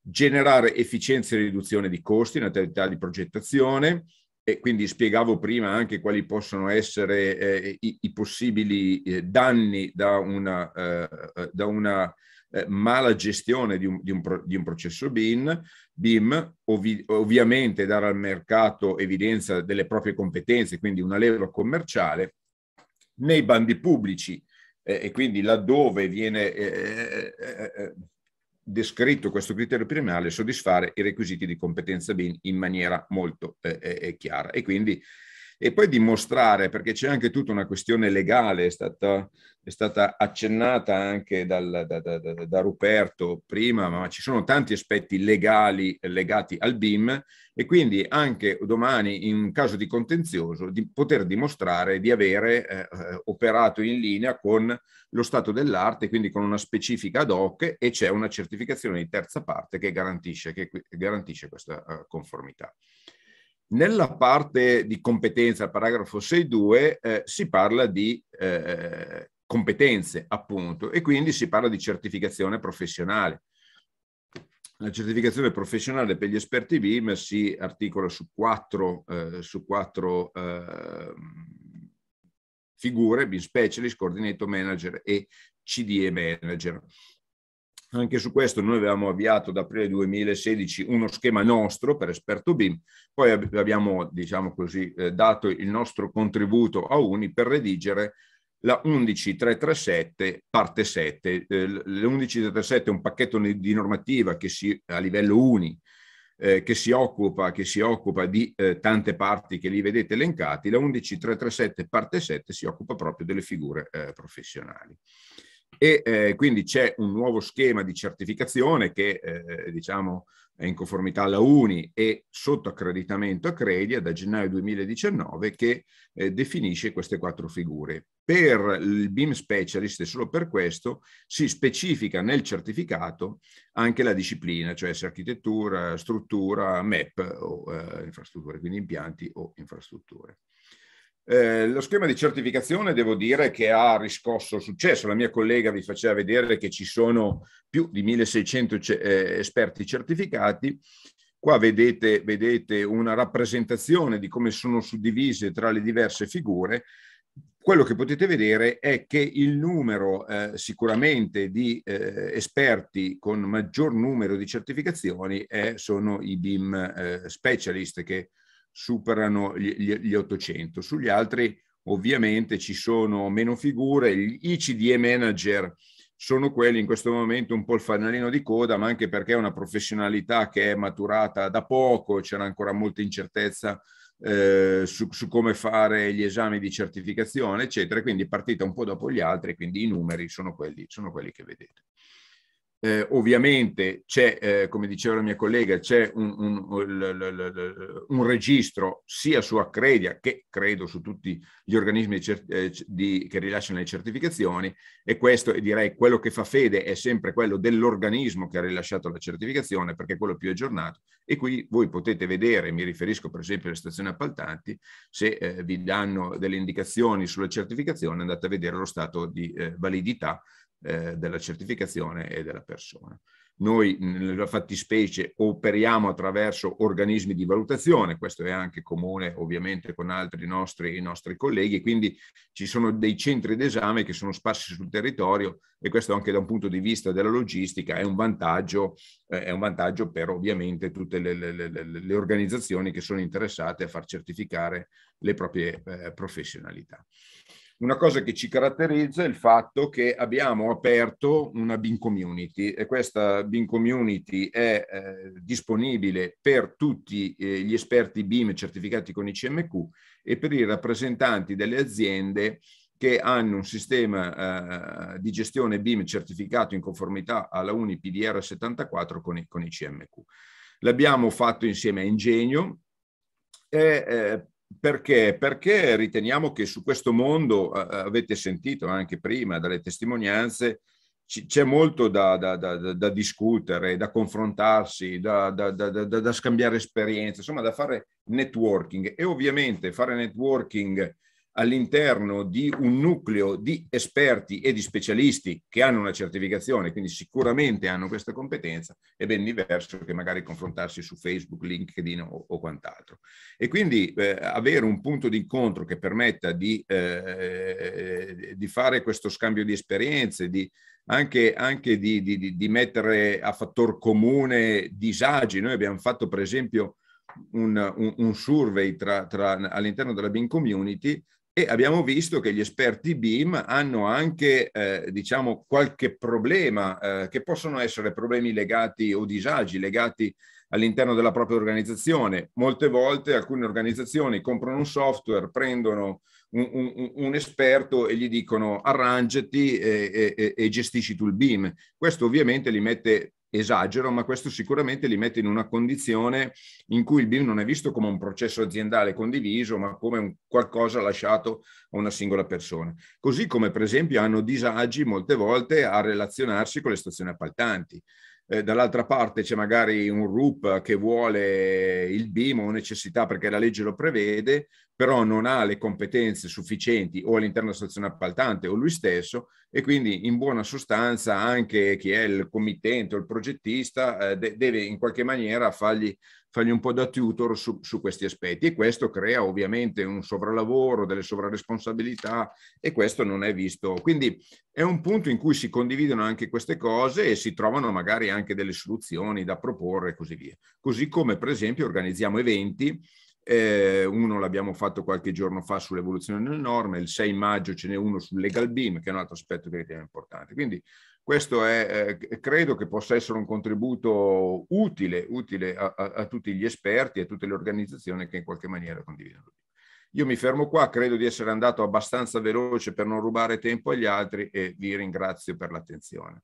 Grazie mille Lorenzo e quindi passo velocissimamente la parola all'ultimo intervento, sicuramente non per importanza, a Rossella Laface del terzo ente di certificazione che abbiamo invitato oggi, ossia Buro Veritas. Buonasera, buonasera a tutti. Eh, sarò velocissima Uh, così da catturare le ultime energie rimaste, perché effettivamente è stata veramente una, una carrellata significativa di interventi. Schippo velocissimo sul chi siamo e sul che cosa facciamo, perché uh, penso che Buro Veritas sia un ente abbastanza noto nel mondo e nell'ambiente del, delle attività cosiddette TIC, quindi di Testing, Inspection and Certification. Uh, faccio solo una un punto Uh, velocissimo relativo a CEPAS, che probabilmente è una realtà meno nota all'interno del macro mondo multinazionale di Bureau Veritas, che eh, è la società che di fatto è dedicata specificatamente al tema della certificazione delle competenze professionali secondo quella norma che citava prima la, la collega della 17024, quindi della normativa che ci detta un po' le regole del gioco, se così vogliamo chiamarle, della certificazione di competenze professionali. Eh, siamo un organismo accreditato a Credia e eh, ribadisco anch'io il concetto che bene per questa tipologia di certificazione appoggiarsi o comunque fare riferimento ad enti che siano accreditati. Um, io entro un pochettino più nello specifico rispetto a quello insomma, che è stato fatto dai colleghi eh, rispetto al tema della uh, specificità eh, della certificazione di competenze. Certificare le competenze che cosa significa? È un processo eh, complesso se vogliamo perché in realtà ehm, quello che vedete come punta dell'iceberg di fatto è l'emissione di un certificato, un pezzo di carta, possiamo banalizzarlo così. Di fatto questo processo però sottende ad, una, ad un'attività di valorizzazione e di analisi del professionista a 360 gradi eh, rispetto a tutto quello che riguarda eh, la sua esperienza specifica, la sua formazione, le sue soft skills in alcuni casi e comunque le sue competenze, il suo know-how eh, specifico di, di settore. Andando velocissimamente a quello che significa eh, certificare i professionisti in ambito BIM, eh, chiaramente eh, ci stiamo muovendo all'interno di ehm, una normativa specifica di riferimento a cui accennavano anche i colleghi prima di me, che è la 11337. Questo pacchetto di norme in realtà nella parte 7 definisce quelle che sono le ehm, figure relative proprio al, um, al mondo del, del, BIM, definendone uh, fondamentalmente quattro livelli che potremmo chiamare di, di, di, di, expertise diversa uh, rispetto a l'approccio al, al, mondo BIM. Um, quindi parliamo di BIM specialist, di BIM coordinator, BIM manager e CDE manager.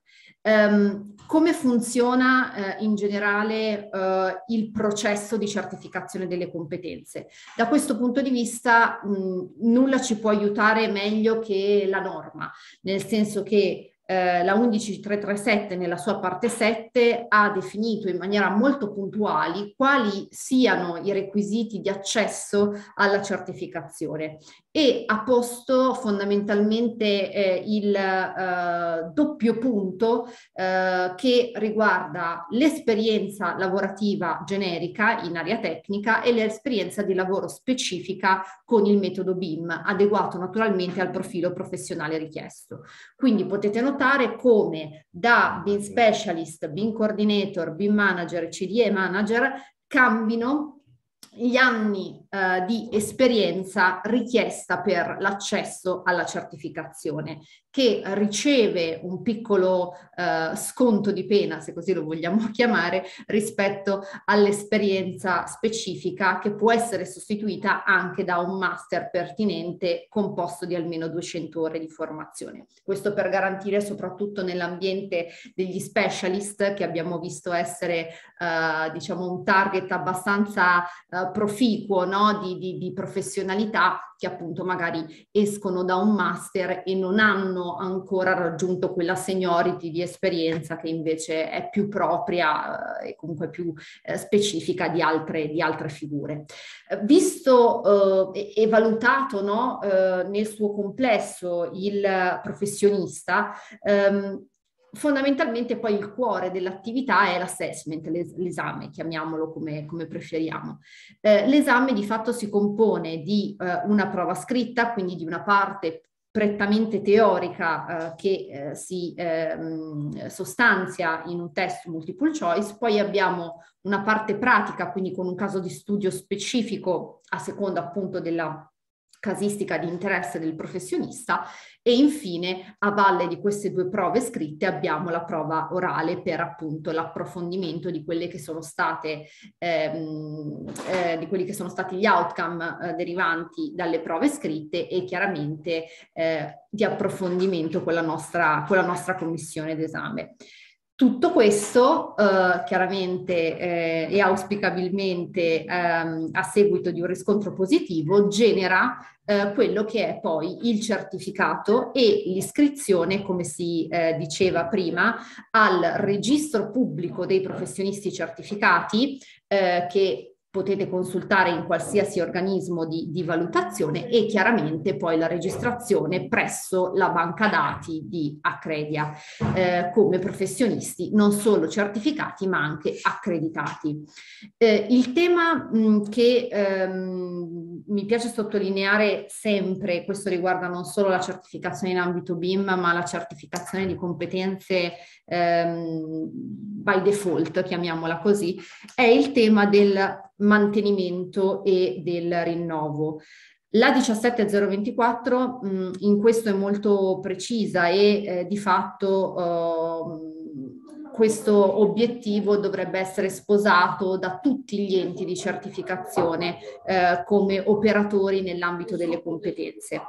Il professionista che si certifica oggi è un professionista che si prevede sia sempre aggiornato e mai come in questo ambiente eh, bisogna chiaramente stare al passo con quelle che sono le normative o i documenti paranormativi di settore. Per questo il mantenimento è un'attività che segue alla certificazione del primo anno ed è un'attività che poi eh, chiaramente prevede eh, un rinnovo al quinto anno. Per questi professionisti eh, che si certificano con enti come eh, il nostro, come quello insomma del, dei colleghi che mi hanno preceduto, è un professionista, eh, come si dice, up to date. Um, venendo e chiudendo il, il mio intervento, i, i, colleghi si sono già espressi prima di me rispetto, rispetto alla rilevanza e ai benefici che eh, ci sono oggi nel certificare e, e nell'essere professionisti certificati in questo settore. Eh, aggiungo sicuramente eh, il tema eh, della eh, affidabilità di un professionista che decide in qualche maniera no, di uscire dalla propria autoreferenzialità per dare una garanzia preventiva al proprio network, alla propria organizzazione, ai propri contatti di essere un professionista certificato.